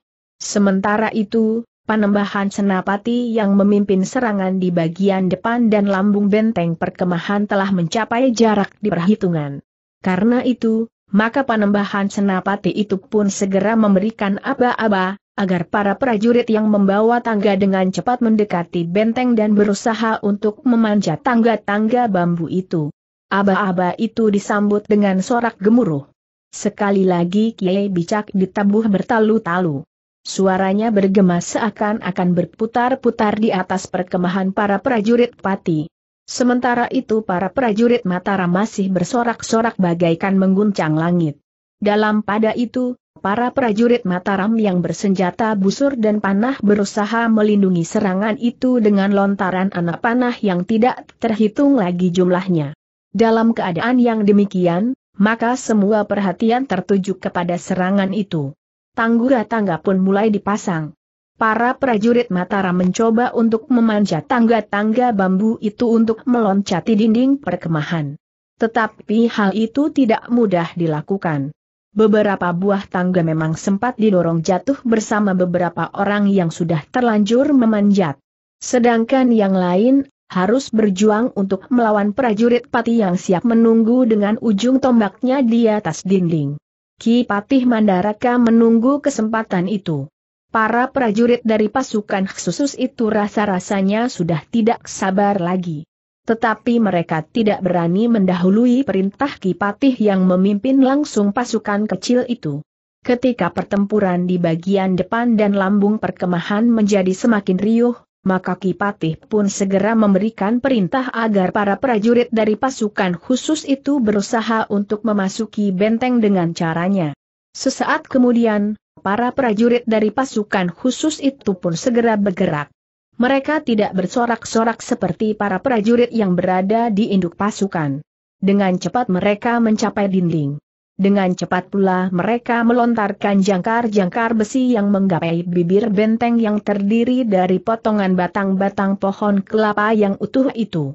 Tali-tali dibuat dari serat-serat kayu yang terikat pada jangkar-jangkar yang menyangkut di sela-sela dinding batang kelapa itu pun kemudian menjadi alat prajurit dari pasukan khusus itu untuk memanjat. Beberapa orang prajurit terpilih dari pasukan khusus itu pun dengan cepat memanjat tali-tali yang berjuntai itu. Demikian cepatnya sehingga para petugas yang mengawasi bagian belakang perkemahan prajurit pati yang perhatiannya memang sedang terikat pada pertempuran yang terjadi di bagian lain, suara benda dan sorak yang gemuruh, terlambat menyadari apa yang sedang terjadi di bagian belakang benteng perkemahan itu. Namun, demikian mereka sadar akan kelengahan mereka maka dengan cepat mereka pun bertindak. Beberapa orang dengan cepat berusaha untuk mencegah para prajurit Mataram yang memanjat naik itu. Tetapi satu dua orang di antara mereka telah mencapai bibir benteng perkemahan itu dan melewatinya, sehingga mereka kemudian telah berdiri di panggungan yang memanjang di belakang dinding perkemahan itu. Dengan demikian, maka prajurit yang telah berada di panggung yang membujur hampir sepanjang dinding perkemahan itu, di antara panggung-panggung khusus untuk mengawasi keadaan, telah berusaha untuk melindungi kawan-kawan mereka yang sedang memanjat tali. Orang yang pertama kali melewati bibir benteng perkemahan itu adalah Agung Sedayu sendiri. Dengan cambuknya Agung Sedayu telah bertempur melawan para prajurit pati yang bertugas di bagian belakang benteng perkemahan mereka, sementara kawan-kawannya memanjat naik. Namun dalam pada itu, para prajurit dari pasukan khusus yang lain pun hampir bersamaan pula telah meloncati benteng perkemahan itu pula. Demikianlah, maka pertempuran telah terjadi. Semakin lama prajurit Mataram yang berhasil naik ke belakang benteng itu pun menjadi semakin banyak pula. Bahkan sebagian dari mereka telah meloncat turun dari panggung yang membujur panjang itu. Ternyata para prajurit yang bertugas di bagian belakang itu tidak segera mampu membendung arus para prajurit dari pasukan khusus yang semakin lama menjadi semakin banyak itu. Pemimpin kelompok prajurit pati yang bertugas di bagian belakang benteng perkemahan itu menyadari bahwa mereka tidak akan mampu melawan prajurit Mataram yang memasuki benteng mereka. Karena itu, maka ia pun segera memerintahkan dua orang penghubung untuk memberitahukan keadaan yang mencemaskan di bagian belakang benteng perkemahan itu. Apakah kita tidak membunyikan isyarat saja? Bertanya salah seorang penghubung itu. Jangan. Isyarat itu akan memengaruhi seluruh medan. Jika kau cepat dan bantuan itu datang dengan cepat pula, maka prajurit Mataram akan segera dapat kita batasi geraknya dan bahkan kemudian kita musnahkan. Kau dapat menyebut berapa kelompok prajurit yang kita butuhkan. Kedua penghubung itu tidak bertanya lagi. Dengan cepat mereka berlari memberikan laporan kepada seorang senapati pati yang sedang sibuk di bawah panggungan memanjang di sepanjang dinding batang pohon kelapa itu. Senapati itu terkejut namun kemudian tak pun cepat mengambil langkah. Diperintahkan seorang senapati bawahannya untuk membawa beberapa kelompok prajurit ke bagian belakang perkemahan itu. Di sini kekuatan kita cukup untuk menahan arus serangan prajurit Mataram, berkata senapati itu. Lalu katanya pula, nanti aku memberikan laporan kepada Kang Jeng Adipati. Demikianlah beberapa kelompok prajurit telah bergeser. Dengan cepat mereka berlari-lari ke bagian belakang perkemahan itu. Agung Sedayu yang memimpin pasukan khususnya menyadari pula, bahwa tugas mereka akan menjadi semakin berat. Tetapi hampir semua prajuritnya telah berada di dalam lingkungan perkemahan. Dalam pada itu, Ki Patih Mandaraka dan lima orang perwira pengawalnya telah berada di dalam benteng pula.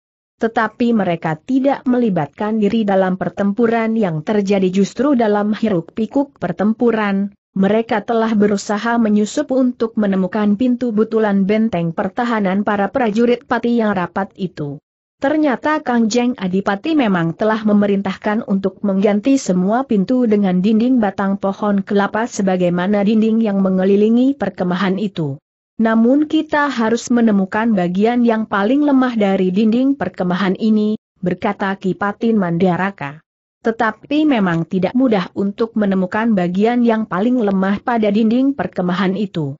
Dalam pada itu, maka pertempuran di dalam benteng itu pun terjadi semakin lama semakin sengit Agung Sedayu bertempur dengan garangnya. Setiap sentuhan ujung cambuknya, telah melemparkan lawannya dengan luka yang menganga. Sementara itu, para prajuritnya pun bertempur dengan tanpa mengenal gentar. Meskipun jumlah mereka tidak begitu banyak, tetapi kehadiran mereka telah mengacaukan pertahanan lawannya.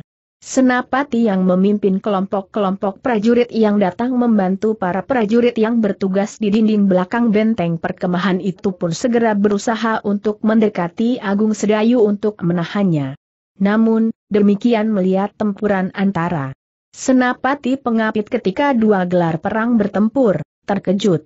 Orang itu adalah Senapati pengapit yang bertempur, terkejut. Orang itu adalah senapati pengapit yang bertempur di sebelah panembahan senapati. Orang itulah yang telah melukai Ki Gede Chandra Bumi. Senapati itu menjadi berdebar-debar. Ia sadar bahwa ia tidak akan mampu mengimbanginya. Karena itu, maka senapati itu telah memanggil lima orang prajurit pilihan di dalam pasukannya. Mereka bersama-sama harus mengurung dan membatasi gerak Agung Sedayu sulit bagi kalian untuk dapat mengalahkannya. Tetapi yang kalian lakukan adalah mengurungnya. Orang itu tidak boleh berkeliaran. Ia sangat berbahaya. Lima orang prajurit pilihan itu pun segera menjalankan perintah itu. Namun mereka tidak tahu, siapakah orang itu sebenarnya. Tetapi kelima orang itu tidak banyak berarti bagi Agung Sedayu yang bertempur dengan garangnya apalagi Agung Sedayu yang sedang mengemban tugas yang berat ia harus memancing kekuatan di sisi belakang itu untuk memberi kesempatan Kipatih Mandaraka menemukan pintu gerbang sampai atau pintu butulan sekalipun. Ternyata Agung Sedayu dan pasukan khususnya berhasil menarik perhatian terbesar dari para prajurit pati yang ada di bagian belakang benteng perkemahan itu mereka seakan-akan memang tidak mempunyai kesempatan untuk memperhatikan apa yang dilakukan oleh Kipati Mandaraka, sementara Kipati sendiri memang seorang yang sulit dicari duanya. Dalam kekalutan perang, Kipati akhirnya menemukan bagian yang paling lemah di antara dinding batang pohon kelapa itu. Kipati yakin bahwa bagian yang lemah itu adalah bekas pintu gerbang butulan yang dengan tergesa-gesa diganti dengan batang pohon kelapa yang utuh. Namun batang pohon kelapa itu tidak cukup dalam tertanam sebagaimana batang-batang yang lain. Dengan cepat Kipatih Mandaraka mendekati bagian yang dianggapnya lemah itu. Dengan pusakanya yang sangat tajam, Ki Patih Mandaraka telah menyentuh tali-tali pengikat batang-batang kelapa itu. Setiap sentuhan tidak perlu ulangi nia, sehingga dalam waktu yang pendek, maka beberapa batang pohon kelapa itu sudah tidak terikat lagi oleh tali-tali ijuk serta palang kayu yang dipasang di bagian dalam dinding itu. Tetapi ketika para perwira pengawalnya ingin merobohkan batang kelapa yang sudah tidak terikat lagi itu, Ki Patih Mandaraka mencegahnya. Aku minta dua di antara kalian keluar dari benteng ini dan menghubungi Senapati yang memimpin sayap kiri dari pasukan Mataram kalian harus dapat menunjukkan bagian yang sudah tidak terikat lagi dengan batang-batang kelapa di sebelah menyebelahnya. Jika kalian sudah siap di luar, maka aku akan memutuskan tali pengikat pada itu akan terlepas sama sekali. Kalian dapat menariknya dari luar. Dengan mudah kalian akan dapat melakukannya dari luar dinding. Dengan demikian, maka pasukan di sayap kiri yang sudah siap akan dengan mudah memasuki lingkungan ini. Dengan demikian maka dua orang di antara para perwira itu telah menyelinap dan meloncat keluar, sementara Kipatih dan ketiga perwira pengawalnya yang masih ada telah melibatkan diri dalam pertempuran. Sebagaimana Agung Sedayu, maka Kipatih Mandaraka telah mengejutkan para prajurit pati kelompok demi kelompok telah didara sehingga pecah dan kehilangan setiap kesempatan untuk mengurung mereka. Dua orang penghubung telah menyampaikan kehadiran orang-orang berilmu tinggi itu kepada Kang Jeng Adipati sendiri, sehingga karena itu, maka Kang Jeng Adipati telah menunjuk Kinaga Sisik Salaka untuk mengatasi keadaan di bagian belakang benteng perkemahan itu. Bawa tiga atau empat orang berilmu, berkata Kang Jeng Adipati. Kinaga Sisik Salaka telah membawa beberapa orang berilmu tinggi bersamanya. Dua orang Tumenggung, dan tiga orang yang semula bukan prajurit pati. Mereka adalah pemimpin-pemimpin padepokan dan perguruan yang dianggap akan dapat membantu dan memperkuat kemampuan pasukan pati. Dalam pada itu, maka dua orang perwira pengawal Kipatih yang keluar dari benteng, berlari-lari menuju ke sayap kiri pasukan Mataram untuk melaporkan bahwa mereka akan mendapat kesempatan untuk membuka dinding perkemahan. Laporan itu ditanggapi dengan sungguh-sungguh. Sementara itu usaha untuk memanjat dinding dengan tangga bambu masih belum berhasil. Karena itu, maka Senapati itu telah menggeser pasukannya menyusuri dinding perkemahan. Sementara itu, ia telah mengirimkan dua orang penghubung untuk memberikan laporan kepada Panembahan Senapati. Pasukan Pati memang melihat perubahan sikap sayap kiri pasukan Mataram. Mereka melihat sayap kiri itu bergeser semakin jauh ke arah lambung. Namun karena Kipatih Mandaraka melarang yang sudah terlepas ikatannya dari yang lain sementara batang-batang pohon kelapa yang dipasang tergesa-gesa itu tidak cukup dalam tertanam di tanah maka para prajurit pati masih belum menghubungkan gerak pasukan Mataram itu dengan pintu butulan. Para prajurit pati hanya mengira bahwa pasukan Mataram itu sekedar menebar untuk mencari kesempatan memasang tangga-tangga bambunya di tempat-tempat yang memungkinkan. Karena itu, maka para prajurit pati itu pun telah bergeser di panggungan yang panjang di belakang dinding perkemahan. Namun, dengan pasukan Mataram itu semakin dekat dengan pintu gerbang butulan itu, mereka pun menjadi semakin memusatkan perhatian mereka pada pintu butulan itu.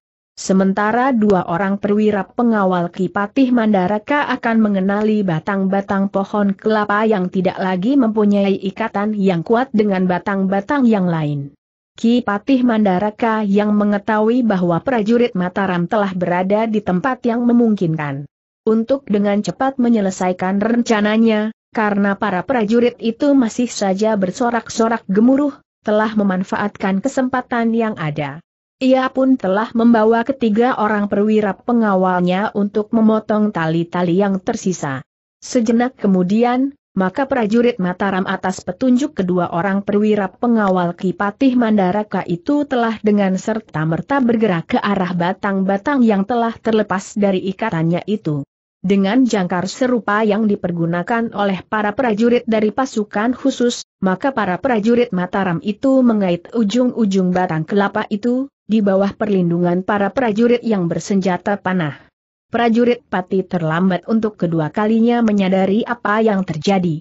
Sejenak kemudian, maka beberapa batang pohon kelapa yang dipasang dengan tergesa-gesa menggantikan pintu butulan yang dilepas itu, telah ditarik oleh beberapa orang prajurit. Usaha para prajurit pati untuk mencegah mereka dengan serangan anak panah dan lembing tidak berhasil. Selain mereka bergerak dengan cepat, serta perlindungan dari para prajurit yang bersenjata panah, maka para prajurit yang berperisai pun berusaha untuk menghalau anak panah yang luncur dari belakang dinding perkemahan itu. Demikianlah, maka sejenak kemudian, maka beberapa batang pohon kelapa itu pun telah roboh, sehingga dengan demikian, maka benteng perkemahan yang terdiri dari potongan batang pohon kelapa yang ditanam rapat dan cukup tinggi itu telah menganga. Bahkan, panggung yang panjang itu pun telah berguncang pula, sehingga beberapa orang prajurit yang kebetulan berada tepat pada batang-batang kelapa yang roboh itu pun telah berjatuhan pula. Dengan cepat, pasukan Mataram telah memanfaatkan kesempatan itu. Para prajurit yang berada di sayap kiri itu pun dengan cepat berusaha memasuki benteng perkemahan. Prajurit Pati yang melihat hal itu pun berusaha untuk dengan cepat membendungnya, namun para prajurit Mataram dari pasukan khusus yang sudah berada di dalam benteng itu pun telah berusaha menahan mereka. Pertempuran menjadi semakin seru. Gelombang demi gelombang pasukan Mataram pun memasuki benteng yang telah berhasil dikoyak itu. Sehingga dengan demikian, maka pertahanan pasukan Pati pun menjadi kalut perang merubuh tidak dapat dihindarkan lagi. Pasukan dari kedua belah pihak telah bertempur di dalam arna yang berbaur. Karena itu, maka kemampuan mereka secara pribadi menjadi sangat menentukan, apakah seseorang akan dapat dengan selamat keluar dari pergulatan yang sengit itu. Dalam kekalutan itu, maka prajurit pati tidak lagi mampu bertahan sepenuhnya di atas panggungan yang memanjang melekat pada dinding perkemahan. Mereka tidak lagi dapat memusatkan perhatian mereka kepada para prajurit yang masih berada di luar benteng mereka, karena di belakang mereka pertempuran berkobar dengan sengitnya. Para prajurit Mataram yang sudah berhasil memasuki benteng perkemahan itu menjalar ke mana-mana. Mereka berada di segala sudut sehingga pertempuran itu pun seakan-akan telah terjadi di setiap jengkal tanah di dalam perkemahan itu. Kang Jeng Adipati-Pati menjadi sangat marah. Tetapi ia menyadari kenyataan yang dihadapinya. Jika dalam kekalutan itu ia harus bertempur sekali lagi melawan Panembahan Senapati, maka ia akan mengalami kesulitan. Kang Jeng Adipati-Pati harus mengakui, bahwa ilmunya ternyata tidak lebih tinggi dari ilmu yang dimiliki oleh Panembahan Senapati. Bahkan dalam kesempatan yang lebih panjang, maka ia tentu akan mengalami kesulitan untuk mengimbanginya. Sementara itu, Kang Jeng Adipati juga tidak dapat mengingkari kenyataan, bahwa di antara para prajurit Mataram terdapat orang-orang berilmu tinggi.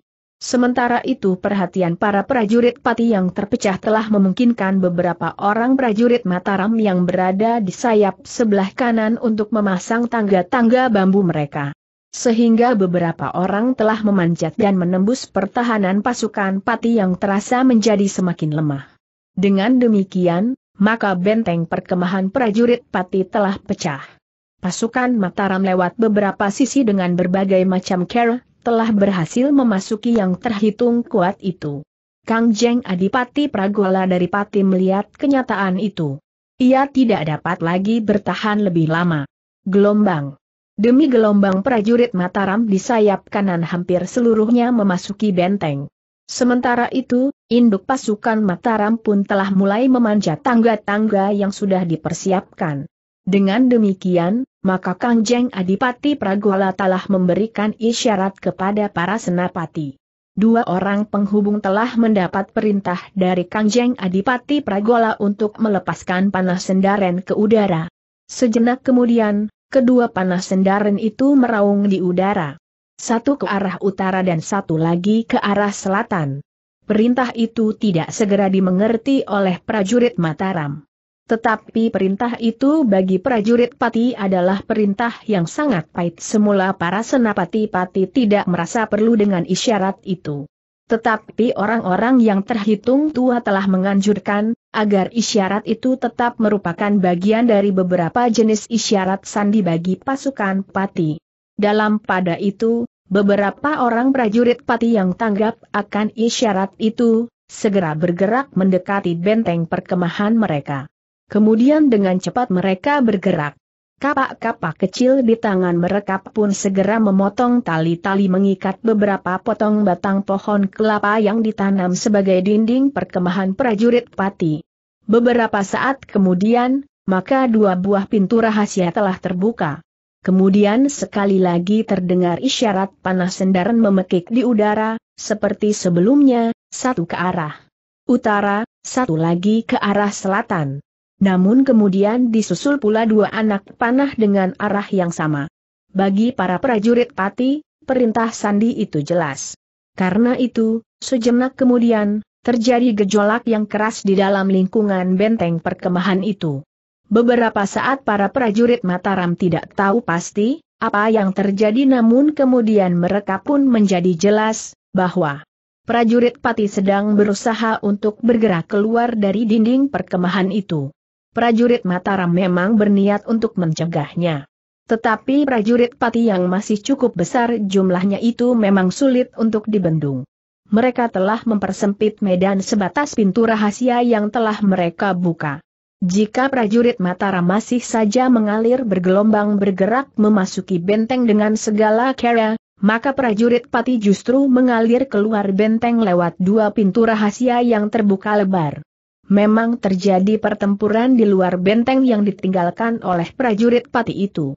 Tetapi para prajurit pati memiliki ketangkasan yang cukup tinggi, sehingga akhirnya mereka berhasil lepas dari hambatan para prajurit Mataram yang berusaha menahan dan mengejar mereka. Sementara itu, Ki Madaraka juga telah memerintahkan agar para prajurit Mataram tidak mengejar mereka. Tetapi Kipatih Madaraka telah memerintahkan Agung Sedayu dan sekelompok pasukan khususnya untuk mengikuti gerak pasukan Pati. Jangan mendekati pasukan yang terhitung kuat itu. Amati saja mereka, apakah mereka benar-benar akan mundur sampai ke sebelah utara pegunungan Kendeng. Agung Sedayu sadar, bahwa perintah itu adalah perintah yang berat. Perintah yang tidak cukup dijalani hanya sehari dua hari. Tetapi sekelompok pasukan khususnya akan menjalankan tugas itu untuk beberapa hari, hingga mereka yakin bahwa pasukan Pati benar-benar telah berada di arah belakang pegunungan Kendeng. Tetapi Agung Sedayu tidak mengikuti tugas itu. Tanpa bekal apa pun, Agung Sedayu siap berangkat meninggalkan benteng itu pula, mengikuti gerak pasukan Pati dari jarak yang cukup jauh, sehingga mereka tidak akan terjebak atau disergap oleh pasukan pati yang kuat itu. Pergilah.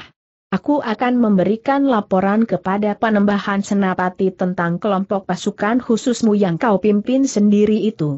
Baik, Ki Patih, aku mohon restu, Ki Patih menepuk bahu Agung Sedayu. Katanya, aku percaya kepadamu. Dengan demikian, maka Agung Sedayu telah membawa sekelompok prajurit dari pasukan khusus yang terpilih untuk mengikuti gerak prajurit pati itu. Tetapi Agung Sedayu memang telah mengambil jarak yang cukup untuk menghindari kemungkinan buruk terjadi atas pasukan kecilnya. Agung Sedayu tidak langsung mengikuti gerak lawannya pada jarak penglihatannya. Tetapi Agung Sedayu merasa cukup untuk mengikuti jejak pasukan pati yang masih terhitung besar itu, meskipun sudah jauh surut dari pasukannya ketika berangkat. Sebagaimana diperhitungkan oleh Agung Sedayu bahwa Pati tentu mempunyai landasan yang sudah dipersiapkan untuk mengumpulkan prajurit-prajurit yang tercerai-berai. Agung Sedayu telah menempatkan pasukannya di tempat yang agak jauh. Ia sendiri bersama dua orang pengawalnya merayap mendekat untuk mengamati gerak pasukan pati yang terdesak perkemahannya itu.